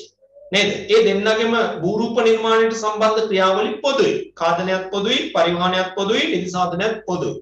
හැබැයි ප්‍රදේශ දෙකක නිර්මාණය වන නිසා කාදන ක්‍රියාවලින් නිර්මාණය වන බූරූප පැහැදිලිව වෙන්කොට අඳුරගන්න පුළුවන්. ඒ නිසා මේ දෙන්න අපි වෙනම කතා. කාදිත බූරූප වෙනවා. හැබැයි නිදිසායත බූරූප අපි එකට කතා කරනවා දෙන්නටම පොදු බූරූප තමයි නිර්මාණය වෙන්නේ. ඒ නිසා දැන් යම් අවබෝධයක් හිතට ඇවිල්ලා ඇති බූරූප ගැන. අපි බලමු ටියුට් එකේ ඊළඟට මොකද තියෙන්නේ මොනවද තියෙන්නේ කියලා. බලන්න නිම්න හේවත් කඳු ග්ලැසියර් මගින් ග්ලැසියර් මගින් එතන ග්ලැසියර් කියන වචනේ වැරදි ඒක හදාගන්න ග්ලැසියර් මගින් නිර්මාණය කරන භූලක්ෂණ ගැන තමයි කතා කරන්න හදන්නේ. බලන්න නිම්න ග්ලැසියර් කාදනය මගින් නිර්මාණය වන භූලක්ෂණ යටතේ පළවෙනි පූරූපය පෙන්ලා තියෙනවා සර්ක සහ සර්ක විල්. මම ඔයගලන්ට ප්‍රසන්ටේෂන් එක ෂෙයා කරන්න. එතකොට මේ භූරූපය ඉස්සෙල්ලා අපිට දැක බලා ගන්න පුළුවන්කම ලැබෙනවා. හරි? බලමුකෝ.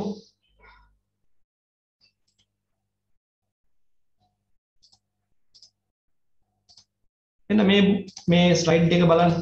දැන් ඔයගලන්ට පේනවා ඇති මේ සර්කස් සහ සර්ක විල් ඒ කියන්නේ භූරූප දෙකක් අපි එකට කතා කරන්න හදන්නේ මේ එකම භූරූපයේ පරිණාමය වීමෙන් මේ දෙන්න නිර්මාණය වෙන්නේ. සර්ක විල් නිර්මාණය වෙන්නේ. දැන් බලන්න ඔයාලට පේනවා මේ කඳු ග්ලැසියර් කලාපයක් පේන්නේ. නේද? ග්ලැසියර් තැන් තැන් වල තියෙනවත් පේනවා. එතකොට මේ කන්දේ එක් බෑවුමක එක පැත්තක නිර්මාණය වන අවපාතයක් තමයි මේ සර්කයක් කියලා කියන්නේ. මේක හරියට මේ බැලුවාම මේ මේ කඳු වැටියම ගත්තාම මේ හාන්සි පුටුවක් වගේ වගේ පේන්නේ නැද්ද ඔයගලන්ට? නේද? නිකන් මේ හාන්සි පුටුවක හැඩයක් වගේ තමයි පේන්නේ. නේද? මෙන්න එහෙනම් කඳු බෑවුමක නිර්මාණය වන හාන්සි පුටුවක හැඩය ගන්න අවපාතයකට තමයි අපි කියන්නේ සර්කියා.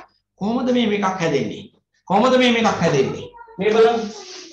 දැන් ඔන්න තියෙනවා කඳු බෑවුම. මම අඳිනවා. හරි? මෙන්න කඳු බෑවුම. අපි මේකේ තියෙන පාෂාණවල ස්වභාවය මම අඳින්නම්. අසම ප්‍රතිරෝධී පාෂාණ තමයි තියෙන්නේ. මෙන්න මෙහෙම තියෙනවා අසම ප්‍රතිරෝධී පාෂාණ කුට්ටියක්. හරි? මේ ටික මෘදුයි. මේ කතර දාලා තියෙන පාෂාණ ස්තරය මෘදුයි. ඒ කියන්නේ ඉක්මනින් ගෙවිලා යන්න පුළුවන්. හැබැයි මේ දෙපැත්තේ තියෙන මොනක්වත්ම වර්ණයක් දාපු නැති අය වර්ණ දාපු නැති අය ඊටාම තද පාෂාණ. ඒ නිසා මම ඒක නිකන් ඉඳලා තද පාෂාණ කියලා ලියනවා. නැත්නම් දෘಢ පාෂාණ. හරි? දෘঢ় බව වැඩි. එතකොට බලන්න දැන් මේ මුළු කන්දම වහගෙන ග්ලැසියර් තට්ටුව නිර්මාණය වෙනවා. මේ සීත ඍතුවේදී. සීත ඍතුවේදී. එතකොට ඒ නිර්මාණය වෙන ග්ලැසියර් කුට්ටියනේ මෙහෙම පල්ලෙහාට තල් වෙලා යන්නේ. ඔය කියන විදිහට. නේද? ඒ යනකොට මොකද වෙන්නේ? ග්ලැසියර් කුට්ටිය අර කියපු විදිහට උත්පාදනය කරයි, උල්ලේඛය කරයි, පිරිසැරීම කරයි. ඒ කරනකොට බෑව් මේ කාදනය සමානද? නැහැ. ඇයි? ප්‍රතිරෝධී බවින් වෙනස් දෙන්නෙක් ඉන්නේ පාෂා. හයිය දෙපැත්තේ දෙකක් තියෙනවා, මැද තියෙනවා මෘදු තලයක්. එතකොට මොකද වෙන්නේ? අර මෘදු පාෂාණ තලයේ වේගයෙන් ගෙවෙනවා. වේගෙන් ගෙවෙනවා. කාදනයේදී. මේ එහෙනම් මේ බලන්න දෙවෙනි අවස්ථාවේදී දෙවෙනි අවස්ථාවේදී අපිට පේනවා වැසීරුකරණය සිද්ධ වුණාට පස්සේ අර මෘදු පාෂාණ තලය මෙන්න මෙහෙම ගෙවිලා ගිහිල්ලා. මෙන්න මෙහෙම ගෙවිලා ගිහිල්ලා පේනවා. හරි මේ හරස් ඇඳ සටහන. එතකොට බලන්න ඇයි මේක ගෙවුනේ මේක මෘදුයි. නේද? මේක මෘදුයි. ඒ නිසා තමයි මේක වේගයෙන් ගෙවුනේ. එහෙනම් අපිට ඔන්න පේනවා කඳු බෑවුම මත නිකන් හාන්සි පුටුවක හැඩයගත් අවපාතික ලක්ෂණයක් නිර්මාණය වෙලා. දැන් ඔබට ඔය ස්ක්‍රීන් එකේ පේන්න තියෙන්නේ වෙන්න. නේද? මේ බලන්න මෙන්න මේ ටික තමයි ඔය සර්කේ විදිහට ක්‍රියාත්මක වෙන්නේ මේ මේ ටික. හරි? මෘදු පාෂාණ ගෙවිලා හැදිච්ච සර්කයක්. ඊට පස්සේ පුතේ කවදා හරි දවසක මේක ග්‍රීස් මේරුතුවේදී මේක වටේ නිර්මාණය වෙච්ච අයිස් තට්ටුව දී වෙලා යනවනේ. දිය වෙලා යනවනේ. නේද? ඒ දිය වෙලා ගියාම මොකද වෙන්නේ? මේ අවපාතික ලක්ෂණයට ජලය එකතු වෙනවා. මේ වලට වතුර පිරෙන්න පටන් ගන්නවා. නේද? මේක වල මේ මේකට වතුර පිරුණාම අපිට පේනවා කඳු මුදුනේ නැත්තම් කන්දේ බෑවුමේ නිර්මාණය වෙච්ච විල. මේ මේවට තමයි කියන්නේ සර්කවිල්. සර්කවිල්. තව නමක් කියනවා කඳු මුදුන් වල බෑවුම් කලාපවල තියෙන නිසා ගිරිවිල් කියලා කියනවා. ගිරිවිල්. හරි? ගිරිවිල්. සර්කවිල්, ගිරිවිල් මේ ආදී අන්වර්ථ නාම වලින් මේවා හඳුන්වනවා. හරි? හොඳයි. එහෙමනම් මේ කොරිවිල් කියලා කියනවා. කොරිවිල්. එමත් තියෙනවා. අන්වර්ථ නාම ගොඩක් තියෙනවා. හොඳයි. එහෙමනම් අපි තවත් බලමු රූප සටහනක්. මේ තියෙන ඔය කියන සර්කයක ෆෝමේෂන් එක නිර්මාණ ක්‍රියාවලිය. අර කියපු විදිහට බෑවමේ අයිස් තට්ටුව නිර්මාණය වෙලා තියෙනවා මෘදු පාෂාණ ගෙවිලා ගිහලා මේ ටික මෙහෙට පල්ලෙහාට තල්ලනකොට මේක හැරෙනවා. ඒ හැරීමේ ප්‍රතිඵලය තමයි සර්කයක් නිර්මාණය වීම. මේ තියෙන්නේ තවත් එවැනිම එකක් මේ කඳු මුදුනේ ඉඳලා නැත්නම් ඒ කඳු මුදුන ආවර පැහැදිලිව පේන විදිහට උඩ ඉඳලා ගත්ත ඡායාරූපයක්. දැන් අපිට පේනවද මේක මේ කළු පාටින් මේ කඩේරි වලින් වෙන් කරලා තියෙනවා. නේද? වෙන් කරලා තියෙනවා. ඒ සර්කේට අයිති වපසරිය. දැන් ඔයගොල්ලන්ට පේනවා ඇති මේ සර්කිය ඛාදනය කරගෙන වේගින් හාරගෙන හාරගෙන ග්ලැසියර් ගල්ලා තියෙන්නේ කොයි පැත්තටද? මේ මේ පැත්තට. මෙහෙට ගල්ලා තියෙන්නේ. මේ තියෙන්නේ ග්ලැසියර් එක ගලාගෙන ගිය පාර. සාක්ෂියක පෙන්ලා තින්නේ මේ. නේද? එහෙනම් ඔන්න බලන්න කඳු මුදුනේ මුදු පාෂාණ තියෙන තැන් ටික වේගයෙන් ගෙවලා ගෙවලා අයින් කරලා අයින් කරලා අයින් කරලා අයින් කරලා බෑව මේ වලක් හරනවා නම් ඒ හරන වල තමයි සර්කය. සර්කය. ඒක කවදා හරි ජවසක ජලයෙන් පිරලා ගියොත් පිරුණොත් එයා තමයි සර්ක විල එහෙම නැත්නම් ගිරි විල. මේ තින්නේ තවත් එවැනිම එවැනිම සර්කයක්. සර්කයක්. හරි? මේ තියෙන්නේ ඒ සර්කයට පස්සේ දවසක ජලය එකතු වුණාම හැදෙන විල. සර්ක විල් කියන්නේ ගිරි විල් කියන්නේ මේවට. හරි? එහෙමනම් අපි යමු අද දවසේ ග්ලැසියර් වල භූරූපයක් කතා නොකළොත් හොඳ නෑ වගේ නේද? විස්තර කළා වැඩිනේ. ඒ නිසා අපි විස්තරයට යමු. අපි අන්තිම රූප සටහන. ඔයාලගේ ටියුට් එකේ ටියුට් එකේ සර්කවිල් අඳින්න, සර්කේ සහ සර්කවිල අඳින්න කොටු තුනක් තියෙනවා. කොටු තුනක් තියෙනවා. පළවෙනි කොටුවේ මේක අඳින්න. හරි? පළවෙනි කොටුවේ මෙන්න මේක අඳින්න. එක. දෙවෙනි කොටුවේ මේක අඳින්න. මේ කවුද? මේක තමයි සර්කේ. සර්කේ. ඒකෙදි අඳින්න එපා ජලයේ ටික. සර්කේ විතරක් ඇඳලා පෙන්නන්න. සර්කේ විතරක් ඇඳලා පෙන්නන්න. ඊට පස්සේ මේකම අඳින්න ආපහු තුන්වෙනි රූප සටහන විදියට ජලයේ තියෙන විදිය පෙන්නනවා. හරි ජලයෙන් පිටලා තියෙන විදිය පෙන්නනවා. එහෙනම් කොටු තුනට අවශ්‍ය කරන රූප සටහන් තුන තමයි පෙන්නන්නේ. පළවෙනි එකට මේක එන්න ඕනි. දෙකට මේ පේන රූප සටහන මේ විදිහට මෙන්න ඕනි. තුනට මේක ජලයෙන් පුරවලා ඇඳලා පෙන්නනවා. හරි ඉක්මනට විනාඩි කිහිපයක් දෙන්න. ඉක්මනට මේ අඳින්න දැන් අපිට අර ඉතුරු වෙච්ච වැඩකුත් තියෙනවා කරන්න.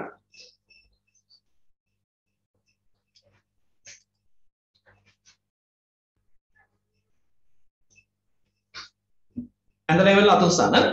පාට කරන වැඩ පස්සේ කරමු උදේ. පාට කරනවා පස්සේ කරමු.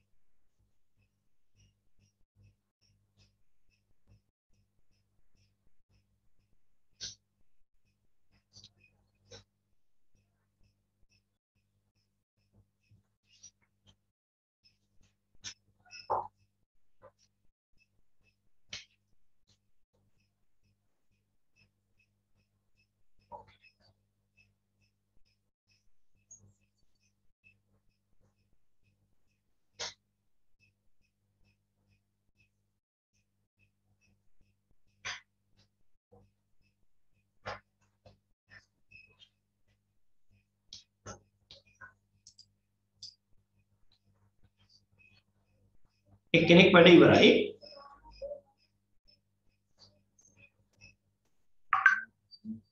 දෙන්නෙක් වැඩ ඉවරයි. ආ වැඩ ඉවරයි. ගොඩක් කට්ටිය ඉවරලා අපතේ බලන්න එපා ටක් කරලා දාන්න. අපි මේක විස්තරේ ලියලා අ, ගිය සතියේ අපිට කතා කරගන්න බැරි වෙච්ච මේ ඩෙල්ටා ලක්ෂණ ගැන කතා කරන්න යන්න. ඉක්මනට නෝට් එක ලියන්න. දැන් ඔය ටියුට් එකේ තියෙන නෝට් එක ලියන්න ඉඩක් ඈ. එතන ලියන්න. අංක 1 රූපසරණයේ දැක්වෙන පරිදි අංක 1 රූපසරණයේ දැක්වෙන පරිදි අංක 1 රූපසරණයේ දැක්වෙන පරිදි අසම ප්‍රතිරෝධී පාෂාණ වලින් අසම ප්‍රතිරෝධී පාෂාණ වලින් නිර්මිත කඳු බෑවුමක් වසා නිර්මිත කඳු බෑවුමක් වසා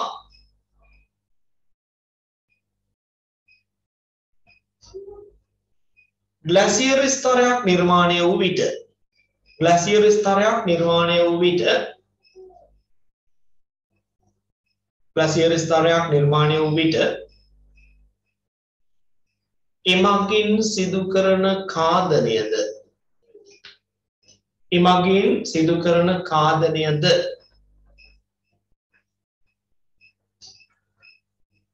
අසමානාකාර වේ.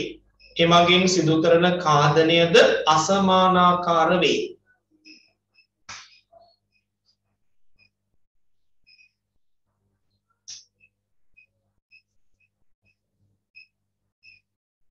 එවිට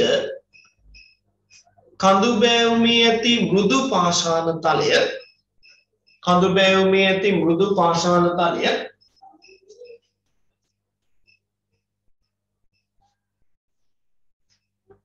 වේගවත් කාදනයකට ලක්වීම නිසා වේගවත් කාදනයකට ලක්වීම නිසා.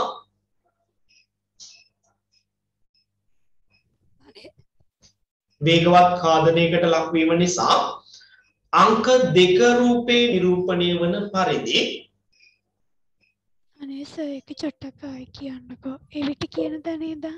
මතනේ නන්ද? එවිට කියන තැන ඉඳන් සර්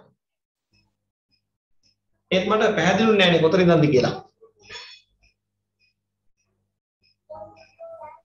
සිදු කරන කාදනයද අසම වේ එවිට කියලා කිව්වේ සර්. ආ එවිට කියන තැන ඉඳන් එවිට අංක දෙක රූපයේ දැක්වෙන ආකාරයට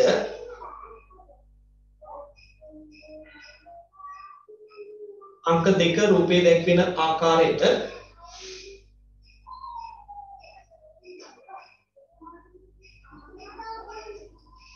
මෘදු පාෂාණ තලයේ වැඩි වශයෙන් කාදනය වී අංක දෙක රූපයේ දැක්වෙන ආකාරයට මෘදු පාෂාණ තලය වැඩි වශයෙන් කාදනයට ලක් වී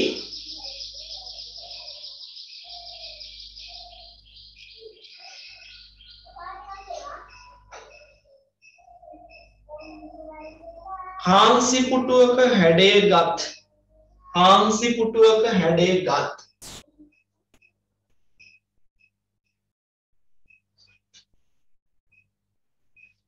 අවපාතික ලක්ෂණයක්. හාන්සි පුටුවක හැඩයගත් අවපාතික ලක්ෂණයක්.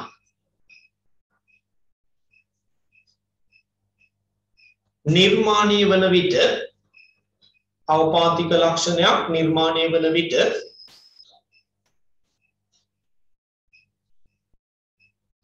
ඒවා සර්ක නමින් හැඳින්වේ. සර්ක නමින් හැඳින්වේ.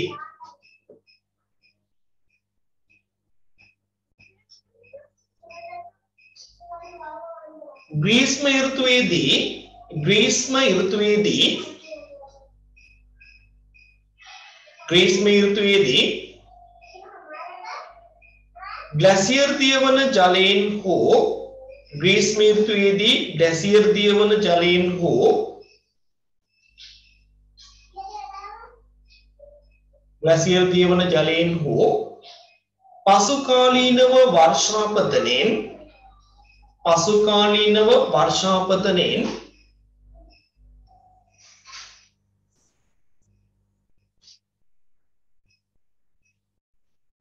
සර්ක නැමැති අවපාතයට සර්ක නැමැති අවපාතයට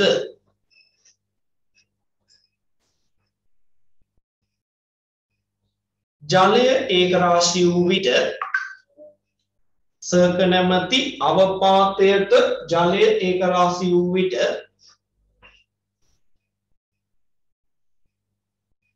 ජලය ඒකරාශී වූ විට එය විලක් බවට පරිවර්තනය වේ. එය විලක් බවට පරිවර්තනය වේ. ඒවා ඒවා සර්කවිල් හෙවත් ඒවා සර්කවිල් හෙවත්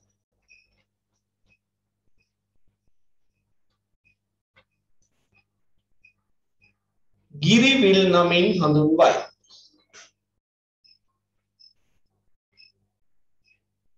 සර්කවිල් හෙවත් ගිරිවිල් නමින් හඳුන්වයි. හොඳයි. එහෙමනම් ග්ලැසියර් කරන කොටස ඔතනින් ඉවර කරමු දැනට. දැනට ඔතනින් ඉවර කරමු මතක තියාගන්න මේ සතියේ බ්‍රහස්පතින්දා බ්‍රහස්පතින්දා අතිරේක පන්තියක් දානවා තියරි. රිවිෂන් නෙමෙයි. හොඳේ. කලබල වෙන්න එපා. රිවිෂන් නෙමෙයි. රිවිෂන් පටන් ගන්නවා. අතිරේක පන්තියක් දානවා මේ පාඩමේ මේ ඉතුරු ටික ඉවර කරලා දා ගන්න ඕනේ ඉක්මනට. හරි ඉක්මනට ඉවර කරන්න ඕනේ. ඒ නිසා මේ දැන් ඇති විවිධ ප්‍රශ්න නේද? වෙන පන්ති වැටලා ඇති මම දාන වෙලාවට වෙන පන්ති වැටලා ඇති. හරි? කිසි ගැටලුවක් නැහැ පුතේ. මේ පන්ති වලට යන්න. කිසි ගැටලුවක් නැහැ. රෙකෝඩින් එක දෙනවා. එතකොට ඔබට රෙකෝඩින් එක බලලා මේ අතිරේක පන්තියට පන්තියේදී ඔබට කෙරෙන්න අවශ්‍ය ටික බලලා මේ වැඩ කරගන්න පුළුවන් කමක් තියෙනවා. හරි? ඒ නිසා ගැටලුවක් ඇති කරගන්න එපා. මම මේක මේ මේ පොඩි පයිලට් සර්ව් එකක් කරන්නේ. අතිරේක පන්තියක් දාලා පොඩි පයිලට් සර්ව් එකක් කරන්නේ මොකටද? මේ රිවිෂන් පන්තියට වෙලාව හදාගන්න. එකපාරටම රිවිෂන් පන්තිය දාලා පළවෙනි දවසේ වැඩ පටන් ගත්තොත් එතෙන්දී ළමයින්ට සම්බන්ධ වෙන්න බැරි වෙලා ගැටලු වෙවිලා මොනවා හරි වුණොත් ඒ ළමයින්ට ඒක පාඩුවක්. ඒ නිසා රිවිෂන් පන්ති වලට එකපාරට යන්නේ නැහැ. තියරි පන්තියක් දාලා බලලා පොඩ්ඩක් වෙලාව කාටවත් ගැටලු අවම වන කාටවත් ගැටලු නැති වෙන වෙලාවක් හොයන්න කිසිසේත්ම බෑ. ගැටලු අවම වන වෙලාවක් පාගෙන රිවිෂන් පන්තිය ආරම්භ කරන්නයි මේ සූදානම්. මේ සතියේ බ්‍රහස්පතින්දා මතක තියාගන්න අතිරේක පන්තියක් දානවා. හරි? හොඳයි. එහෙනම් අපි ඉක්මනට යමු ඩෙල්ටා ලක්ෂණය ගැන කතා කරන්න අපිට ගිය සතියේ අමතක වෙලා. නේද? ගිය සතියේ ඉතුරු වෙලා තියෙන එක. මට කියන්න මේ ඩෙල්ටා ගැන මොනවත්වත් මම කතා කළේ නැද්ද? නැද්ද කියන එකට ඔව් කියන පිළිතුර දෙන අය අත උස්සන්න. එක්කෙනෙක් දෙන්නේ අත උස්සන්න. නැත්තම් යම් ප්‍රමාණයක් කතා කරලා දන්නෙත් නැහැ.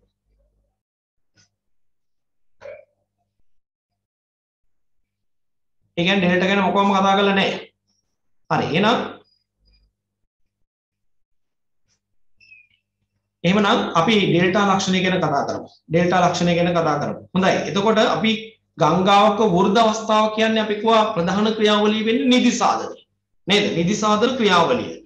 එතකොට තමයි ගංගාවක වෘද්ධ අවස්ථාවේ සිද්ධ වෙන නිදි සාධන ක්‍රියාවලියද අපි දන්නවා ඉදිරියට ගෙනාවු ජීර්ණාවශේෂ ද්‍රව්‍ය පුළුවන් තරම් ගංගා නිම්නයේ පත්ලේ හරි ගංගා නිම්නයේ ආසන්නයේ යම් යම් ස්ථානවල හරි තැන්පත් කරනවා. එතකොට ගඟ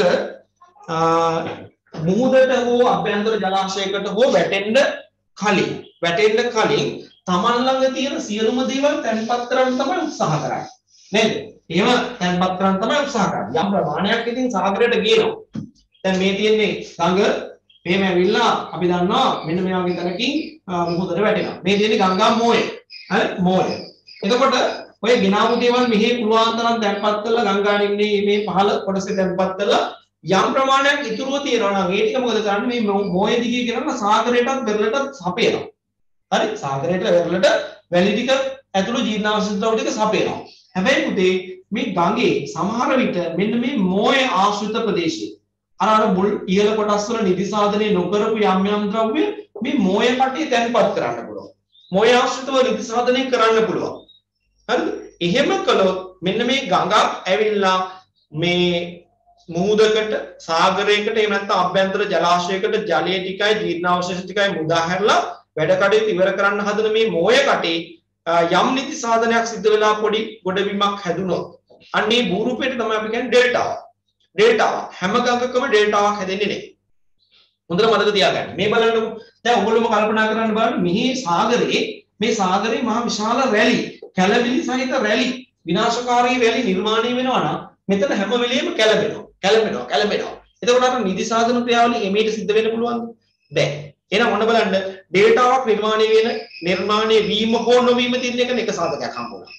නේද? විනාශකාරී වල ක්‍රියාත්මක නොවන තත්ත්වයක් තියෙනවා. කොහෙද? සාගරේ. කොහෙද? මෝය ආසන්න සාගරේ. නේද? එහෙම වුණොත් නිසාදනය වෙන්නේ. ඊළඟ අනිත් දේ තමයි මෙන්න මෙතන බෑවුම ගඟ ඇවිල්ලා සාගරයට සම්බන්ධ වෙන තැන. මේ තියෙන්නේ ගඟ. හරි ගඟ. මේ තියෙන්නේ මෝය. සාගරයට සම්බන්ධ වෙන තැන මෙන්න මේ වගේ බෑවුමක් තිබුණා. මේ වගේ බෑවුමක් තිබුණොත් අර ගින ගේන ඔක්කොම ටික මොකද වෙන්නේ? මේ පත්ලට වැටෙනවා. මෙහි තමයි නිදි සාධනය වෙන්නේ. ඒනම් ඔන්න බලන්න මෝයේ තියෙන බෑවුමත් බලපාන. නේද? මෝය ආශ්‍රිතව තියෙන බෑවුමෙත් බලපාන.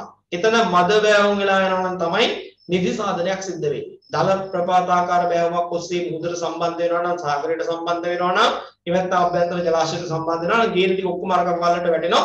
වැටිලා නිදි සාධනයක් වුණාට එතන ඩෙල්ටාවක් හැදෙන්නේ නැහැ. දෙකක් හම්බ වුණා. තුන්වෙනි සාධකය තමයි මේ ගඟේ ඉහළ කොටසේ අභ්‍යන්තර ජලාශ හදලා තියෙනවද නැද්ද කියන එක. දැන් ගඟ තැන් තැන් වලින් හරස් කරලා විශාල ජලාශ පද්ධති හදලා තිබුණා දැන් අපේ මහවැලි ගඟේ තියෙනවා. නේද? 1950 දශකයේ ඉදි කරපු වැඩ කටයුතු ආරම්භ කළා ඉදි කරගෙන ගිය ජලාශ පද්ධතියක් තියෙනවා. පද්ධතියක් තියෙනවා. එතකොට මේ ජලාශ බැමි හදලා බැමල බැමි බැදලා ජලය එකතු කරනකොට මොකද වෙන්නේ? අර ගඟ හොදගෙන යන යම් යම් ජීර්ණක ද්‍රව්‍ය ටික අර හදපු ජලාශ පතුල් වල තැන්පත් වෙනවා. නේද? තැන්පත්. එතකොට පහළ කොටසට වෘද්ධ අවස්ථාවට සැපේන ජීර්ණාංශ ප්‍රමාණය අඩු වෙනවා. එතකොට ඩිලටාවක් වර්ධනය වෙන්න තියෙන ඉඩකඩ අඩුයි. හැබැයි මතක තියාගන්න. මහවැලි ගඟේ ජලාශ පද්ධතියක් හැදුවේ පස්සේනේ. පස්සේනේ. හැබැයි මහවැලි ගඟේ අපේ රට අපේ රටේ මහවැලි ගඟ මුහුදට වැටෙන අපි දන්නවා ත්‍රිකුණාමලේ එතන මේ මහවැලි ගඟේ ඩෙල්ටාවක් නිර්මාණය වෙලා හැබැයි මතක තියාගන්න දැන් ඒක වර්ධනය වන ශීඝ්‍රතාවය අඩු වෙලා. එයි රට අභ්‍යන්තරයේ ගංගා තැනින් තැනින් හරස් කරලා ජලාශ පද්ධතියක් හදලා වතුර එකතු කරන්න පටන් ගන්න මිනිස්සු. එතකොට දැන් අපිට පේනවා පහළට ගෙනියන ජීර්ණාවශිෂ්ඨ ටික අඩු වෙලා තිනවා. අර ජලාශ පතුල් වල තමයි මේවා තැන්පත් වෙන්නේ. ජලාශ පතුල් වල මේවා තැන්පත් වීම සිද්ධ වෙනවා. නේද? එහෙනම් ඔන්න බලන්න මෝයක ඩෙල්ටාවක් නිර්මාණය වීම හෝ නොවීම දින්න එකට තව එකක් හම්බුණා. සාධක තුනයි. වෙරළා මෝය ආශ්‍රිතව විනාශකාරී රළ ක්‍රියාත්මක වේද නොවේද කියන කාරණා. ඊළඟට මෝය ආශ්‍රිත භූමියේ බෑවුම. තුන්වෙනිව කතා කළා ගංගා නිම්නය තුල ජලාශ පද්ධති පවතීද නැද්ද? පවතී නම් මෝයක ඩෙල්ටාවක් හැදෙන්න ඉඩ අඩුයි. නැත්තම් මෝයට වැඩි ජීර්ණාංශ ප්‍රමාණයක් සැපේනවා ඩෙල්ටාවක් හැදෙන්න වැඩි ඉඩකඩක් එතන නිර්මාණය වෙනවා. නේද? එහෙනම් ඔන්න ඩෙල්ටාවක් හැදෙන්න තියෙන හැදෙන්න බලපාන සාධක තුනක් ඉගෙන ගත්තා. මොකද්ද ඩෙල්ටාවක් කියන්නේ? ගඟ සාගරයකට මුහුදකට හෝ අභ්‍යන්තර ජලාශයකට ජලය ඇතුළු ජීර්ණාවශේෂ ද්‍රව්‍ය පිට කරන අවසාන විවරයට තමයි අපි කියන්නේ ගංගා මොය. මේ මොයේ නිදි සාධන ක්‍රියාවලිය සිද්ධ වෙලා හැදෙන පුංචි ගොඩබිමක් විවිධ හැඩති ගොඩ ගොඩබිම් තමයි ඩෙල්ටා කියන්නේ. මේ ඩෙල්ටා ලක්ෂණය අපි වර්ග කරගෙන තියෙනවා ඩෙල්ටාව දිහා බැලුවම අපිට පේන දේ අනුව. හරි සමහර ඒවා තියෙනවා මෙහෙමයි. සමහර ඩෙල්ටා තියෙනවා ගඟ මෙහෙම ඇවිල්ලා මුහුදට වැටෙන තැනදී අපිට තියෙනවා මේ ඩෙල්ටාව මෙන්න මෙහෙම ඡාපයක් විදිහට. මෙහෙම අතු වලට බෙදලා බෙදලා බෙදලා බෙදලා ගිහලා ඔන්නෝම අවසානයේ අපිට පේන්නේ ඩෙල්ටාව ඡාපයක් විදිහට. අපි එතකොට කියනවා ඡාපාකාර ඩෙල්ටා. ඒ මේවා තියෙනවා. තව සමහර ඒවා තියෙනවා මෙහෙම ගඟේ එනවා. ඇවිල්ලා මේ පටු තනින් මේ පුළුල් පැතිරීමක් ඇතුළු ගිහිල්ලා මෝය ආශ්‍රිතව මේ විදිහට අතුරු ජල මාර්ග හදලා මෙන්න මෙහෙම එකක්. එතකොට අපිට පේනවා මෙතනදී නිකන් පුණීලියක් වගේ. මේ පුණීලිය හැඩය මෙහෙමනේ. නේද? කොහොමද? ඒ වගේ. එතකොට අපි කියනවා පුණීලාකාර ඩෙල්ටා. ඊළඟට සමහර වෙලාවට අපිට පේනවා මේ සමහර ඩෙල්ටා තියෙනවා මෙහෙම ඇවිල්ලා මේ සම්බන්ධ වෙනවා මේම. හරි. එතකොට අපිට ඇත්තටම පේන්නේ ගඟ මුහුදට වැටෙන මේ මෝය නිකන් කුරුල්ලෙක්ගේ කොට වගේ. නේද? කුරුළු කොටක් වගේ තමයි එතන පේන්නේ. එතකොට අපි කියනවා සතුන්ඩ ඩේටා. සතුන්ඩ ඩේටා. ඒ වගේම තමයි සමහර තැන්වලදී අපිට පේනවා ගඟ මෙහෙම ඇවිල්ලා අතු ගංගා ගොඩකට බෙදලා ගිහිල්ලා හරියටම අපිට පේන්නේ ඩේටාව කුරුල්ලෙක්ගේ කකුල වගේ. කුරුල්ලෙක්ගේ කකුල වගේ. අන්න එතකොට අපි කියනවා ඒවට පක්ෂිපාද ඩේටා. පක්ෂිපාද ඩේටා. අපිට අත්ගල බලමුද මේ ඩේටා වර්ග ටික. ප්‍රසන්ටේෂන් එකේ තියෙනවා. ලොකු ඇස්සක් ඉන්න හදන ළමයි ඊට කලින් බලමු.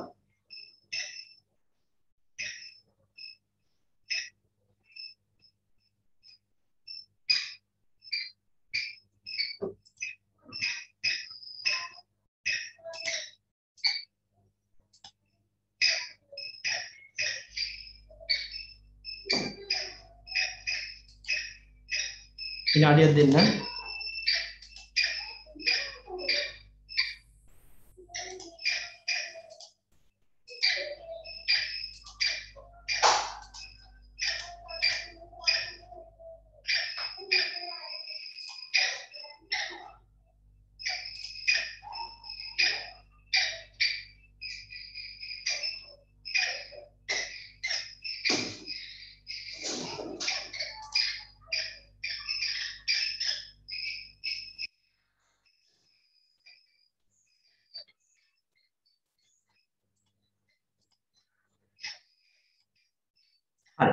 දැන් ඔයගොල්ලන්ට පේනවා ඇති. ඔයගොල්ලන්ට පේනවා ඇති මේ තියෙන්නේ මේ නයිල් ගඟේ ඩෙල්ටාව. නයිල් ඩෙල්ටාව. ඒ කියන්නේ නයිල් ගඟ ඇවිල්ලා මධ්‍යධරණී මූදුර වැටෙන ස්ථානයේ එයාගේ ඩෙල්ටාව හැටි. තමයි මේ පේන්නේ. ඒතර නයිල් ඩෙල්ටාව මොන වගේද දැන් ඔය කියපු වර්ගවලින්? ඈ නයිල් ඩෙල්ටාව මොන වගේ එකක්ද? චාපාකාර බවක් පේනවා ඔයගොල්ලන්ට. නේද? මේ චාපයක් වගේ. ඈ? මේක සම්පූර්ණයෙන්ම තියෙන්නේ වී වගාවේ. හරි නයිල් ඩෙල්ටාවේ වී වගාව කරනවා කියලා ඔයගොල්ලෝ අහලා තියෙන්නේ. එහෙනම් මේක මහ විශාල ප්‍රදේශයක් ලංකාව වගේ 100ක් විතර ලොකුයි. හරි මේ ඩෙල්ටාව. එතකොට බලන්න චාපාකාරයක් කෙනෙක්. ඊළඟට බලන්න මෙන්න මේක. මේ ඩෙල්ටාව. ඒත් ඔය නයිල් ඩෙල්ටාව තමයි අනිත් පැත්තෙන් බලුවහම පේන්නේ. නේද? ඒ ඩෙල්ටාව ඉදිරිපසින් නිරීක්ෂණය කළාම පේන විදිය. මේ ඒත් අර චාපාකාර බව අපිට හොඳට පේනවා. මෙන්න මේක බලන්න. මේ තියෙන පුතේ උතුරු ඇමරිකාවේ මිසිසිපි ගඟ ජලය උදාහරණ ගංගා මෝය නිර්මාණය කළ තියෙන ඩෙල්ටාව. ඔන්න ඕකට තමයි අපි කියන්නේ පක්ෂිපාද ඩෙල්ටා කියලා. පක්ෂිපාද ඩෙල්ටා.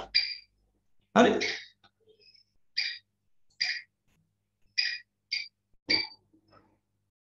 ඊළඟට මෙතන උදාහරණ පෙන්වන්න හොයාගන්න බැරුණා මට ඔයගලන්ට ෆොටෝස් හොයාගන්න බැරුණා මේ පුනීලාකාර ඩෙල්ටාවක සහ චාප් මේ මේ සතුන්ඩ ඩෙල්ටාව. සතුන්ඩ ඩෙල්ටාවක් තියෙනවා මේ ටයිබර් ගඟේ. ඉතාලියේ ටයිබර් ගඟේ ඩෙල්ටාවක් ඩෙල්ටාව අපි හඳුනගන්නේ කුරුල්ලෙකි හොටේ හැඩේ තියෙන ඩෙල්ටාවක් විදිහට.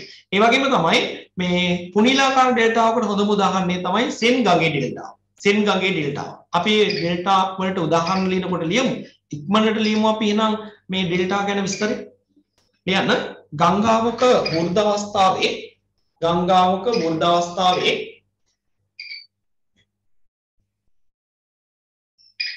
සිදුවන නිදිසාධන ක්‍රියාවලියේදී සිදුවන නිදිසාධන ක්‍රියාවලියේදී ගංගාවක වෘද්ධ අවස්ථාවේ සිදුවන නිදිසාධන ක්‍රියාවලියේදී නිදිසාධනය නොකළ නිදිසාධනය නොකළ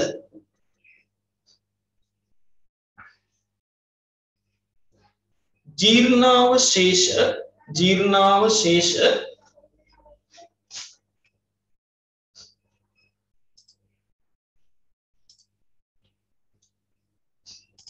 මෝය ආශ්‍රිත ප්‍රදේශයට සැපයි. මෝය ආශ්‍රිත ප්‍රදේශයට සැපයි. නැත්නම් ලැබී. මෝය ආශ්‍රිත ප්‍රදේශයට ලැබී. ඒ ආශ්‍රිතව නිදිසාධනයක් සිදුවීමෙන් ඒ ආශ්‍රිතව නිදිසාධනයක් සිදුවීමෙන්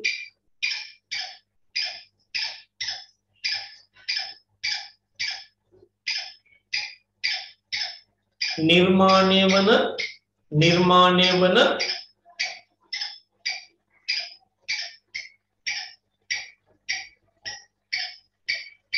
විවිධ හැඩයෙන් යුක්ත විවිධ හැඩයෙන් යුක්ත ජීර්ණාවශේෂ නිදියක් ජීර්ණාවශේෂ නිදියක්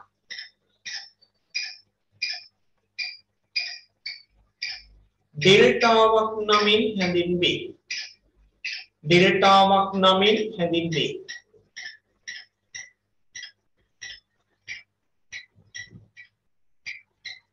සෑම ගංගා මෝයකම සෑම ගංගා මෝයකම සෑම ගංගා මෝයකම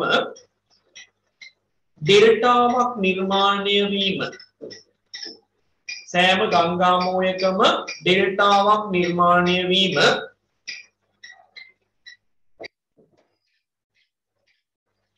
සිදු නොවන අතර සෑම ගංගා මෝයකම ඩෙල්ටාවක් නිර්මාණය වීම සිදු නොවන අතර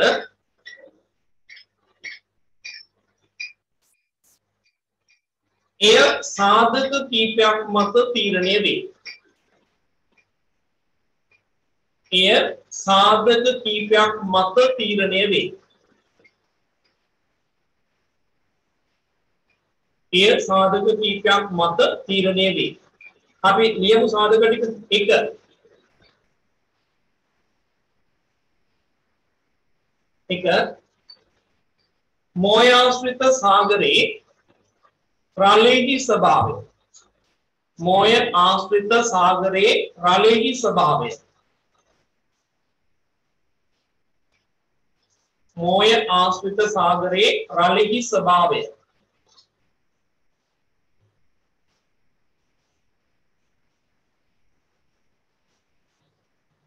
දෙක දෙක මෝය ආශ්‍රිත භූමියේ බෑවුම. මෝය ආශ්‍රිත භූමියේ බෑවුම.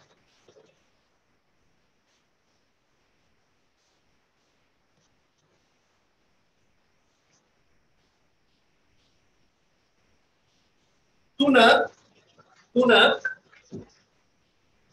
ගංගාද්‍රෝණියේ ගංගාද්‍රෝණියේ අභ්‍යන්තර ජලාශවල පිහිටි. ගංගාද්‍රෝණියේ අභ්‍යන්තර ජලාශවල පිහිටීම ගංගාද්‍රෝණියේ අභ්‍යන්තර ජලාශවල පිහිටීම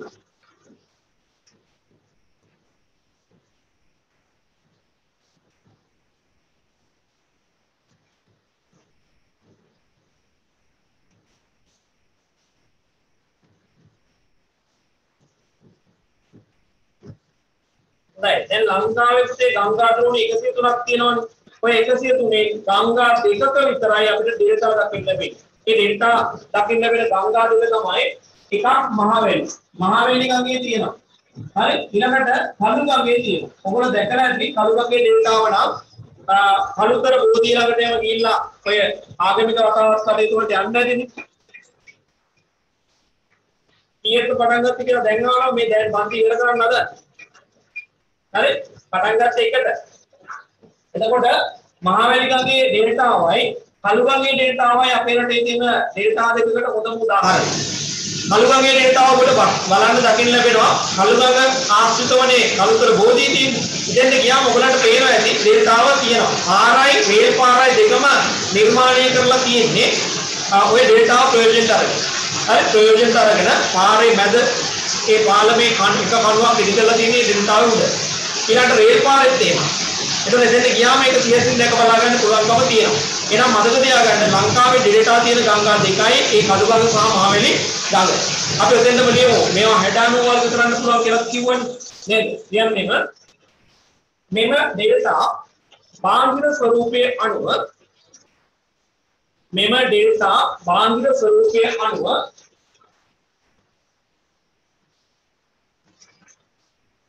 මෙම ඩෙල්ටා බාහිර ස්වරූපය අනුව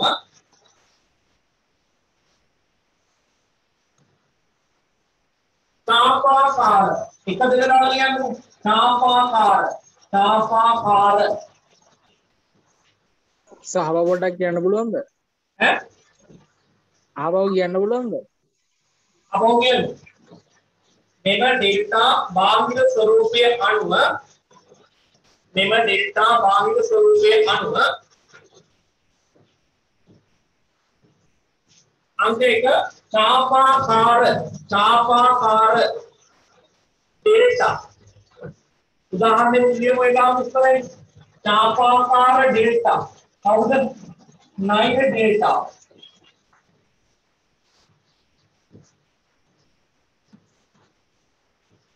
චාපාකාර ඩෙල්ටා උදාහරණය තමයි නයිල් ඩෙල්ටා. ඊළඟට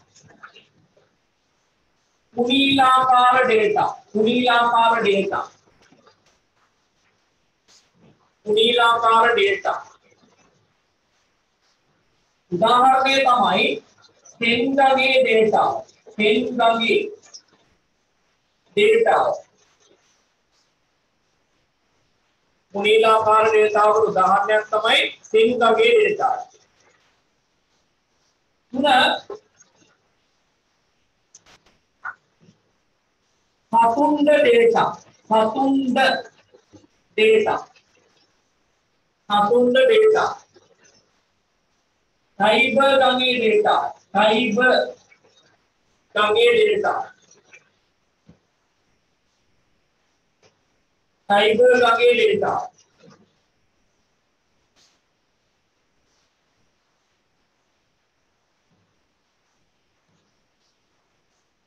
හතර පක්ෂිපාද ඩේටා පක්ෂිපාද ඩේටා පක්ෂිපාද ඩේටා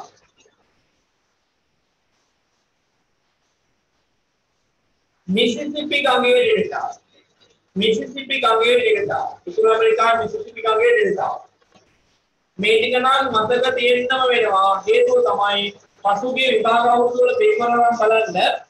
විභාග පේපර් අරන් බලන්න. ඒවැදී මේ කියන වර්ග දීලා ප්‍රශ්න අහලා තියෙනවා. බහුවර්ණ ප්‍රශ්න අහලා තියෙනවා. හරිද? මේ අතරේ තාපාකාර ඩේටාවක් වන්නේ. ඔන්න උත්තර දෙන්න වෙලා මේ අතරේ සුනිලාකාර ඩේටාවක් වන්නේ. උත්තර දෙන්න වෙලා. මේ හේතුව මේක මතක තියෙන්නම වෙනවා. ගලේකේතු අකුරු වගේ මතක තියෙන්න වෙයි. හොඳයි. එවනම් ඩේටා වර්ගීකරණය කළා. කරුණාකරත් තාල ලියමු අපි මෙන්න මේ කාරණයක්. ශ්‍රී ලංකාවේ ගංගා ද්‍රෝණිය අතරින් මහවැලි සහ අලුගඟේ පමණ ඩේටා දකින්න ලැබෙනවා කියන කාරණයක් ලියමු. කරුණාකරත් තාලියන් එක්තරා ලියන්න. එයන ශ්‍රී ලංකාවේ ගංගා ද්‍රෝණිය 103 ශ්‍රී ලංකාවේ ගංගා ද්‍රෝණිය 103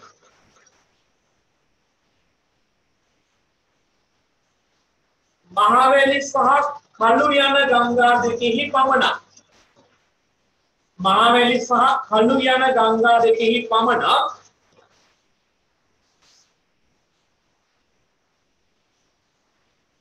ඩෙල්ටා ලක්ෂණය දක්නට ලැබේ. මහවැලි සහ කළු යන ගංගා දෙකෙහි පමණක් ඩෙල්ටා ලක්ෂණය දක්නට ලැබේ.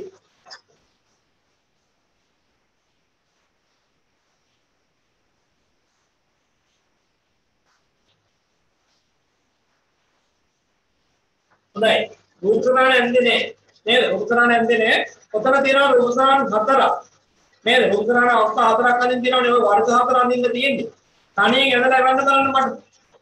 රූපසරණ හතරක් අඳින්න ඕනේ මොනවද චාපාකාර පුනීලාකාර සතුන්ද ඊළඟට පක්ෂිපාද ඔය හතරට රූපසරණ ඇදලා එවන්න පුළුවන් බලන්න ඇඳලා ෆොටෝ ගාලා මට එවන්න මම ඒකේ අඩුපාඩු බලලා කියන්න ඒ වගේම තමයි මතක තියාගන්න දැන් ඔබට මම කිව්වා පණිවිඩේ මේ බ්‍රහස්පතින්දා අතිරේක පන්තියක් දානවා. ඒකට අවශ්‍ය වෙලාව මම ඔයගලන්ට WhatsApp වලින් ඉවන්නම්. සම්බන්ධ වෙන්න බැරි අය ඉන්නවා නම්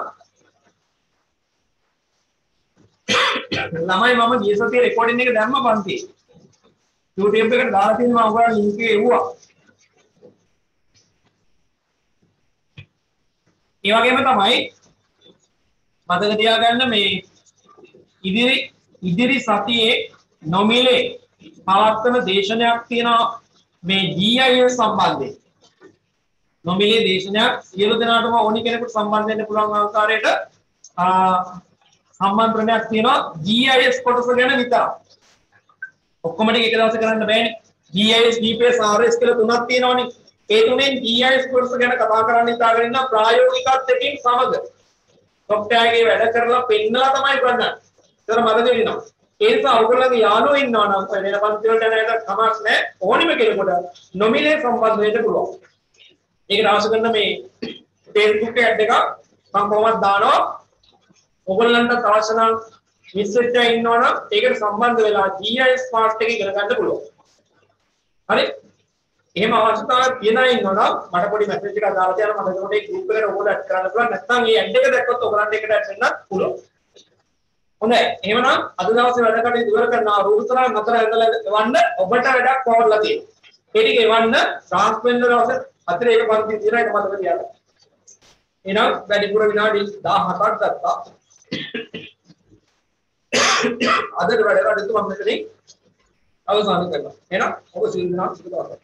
ආයුබෝවන්.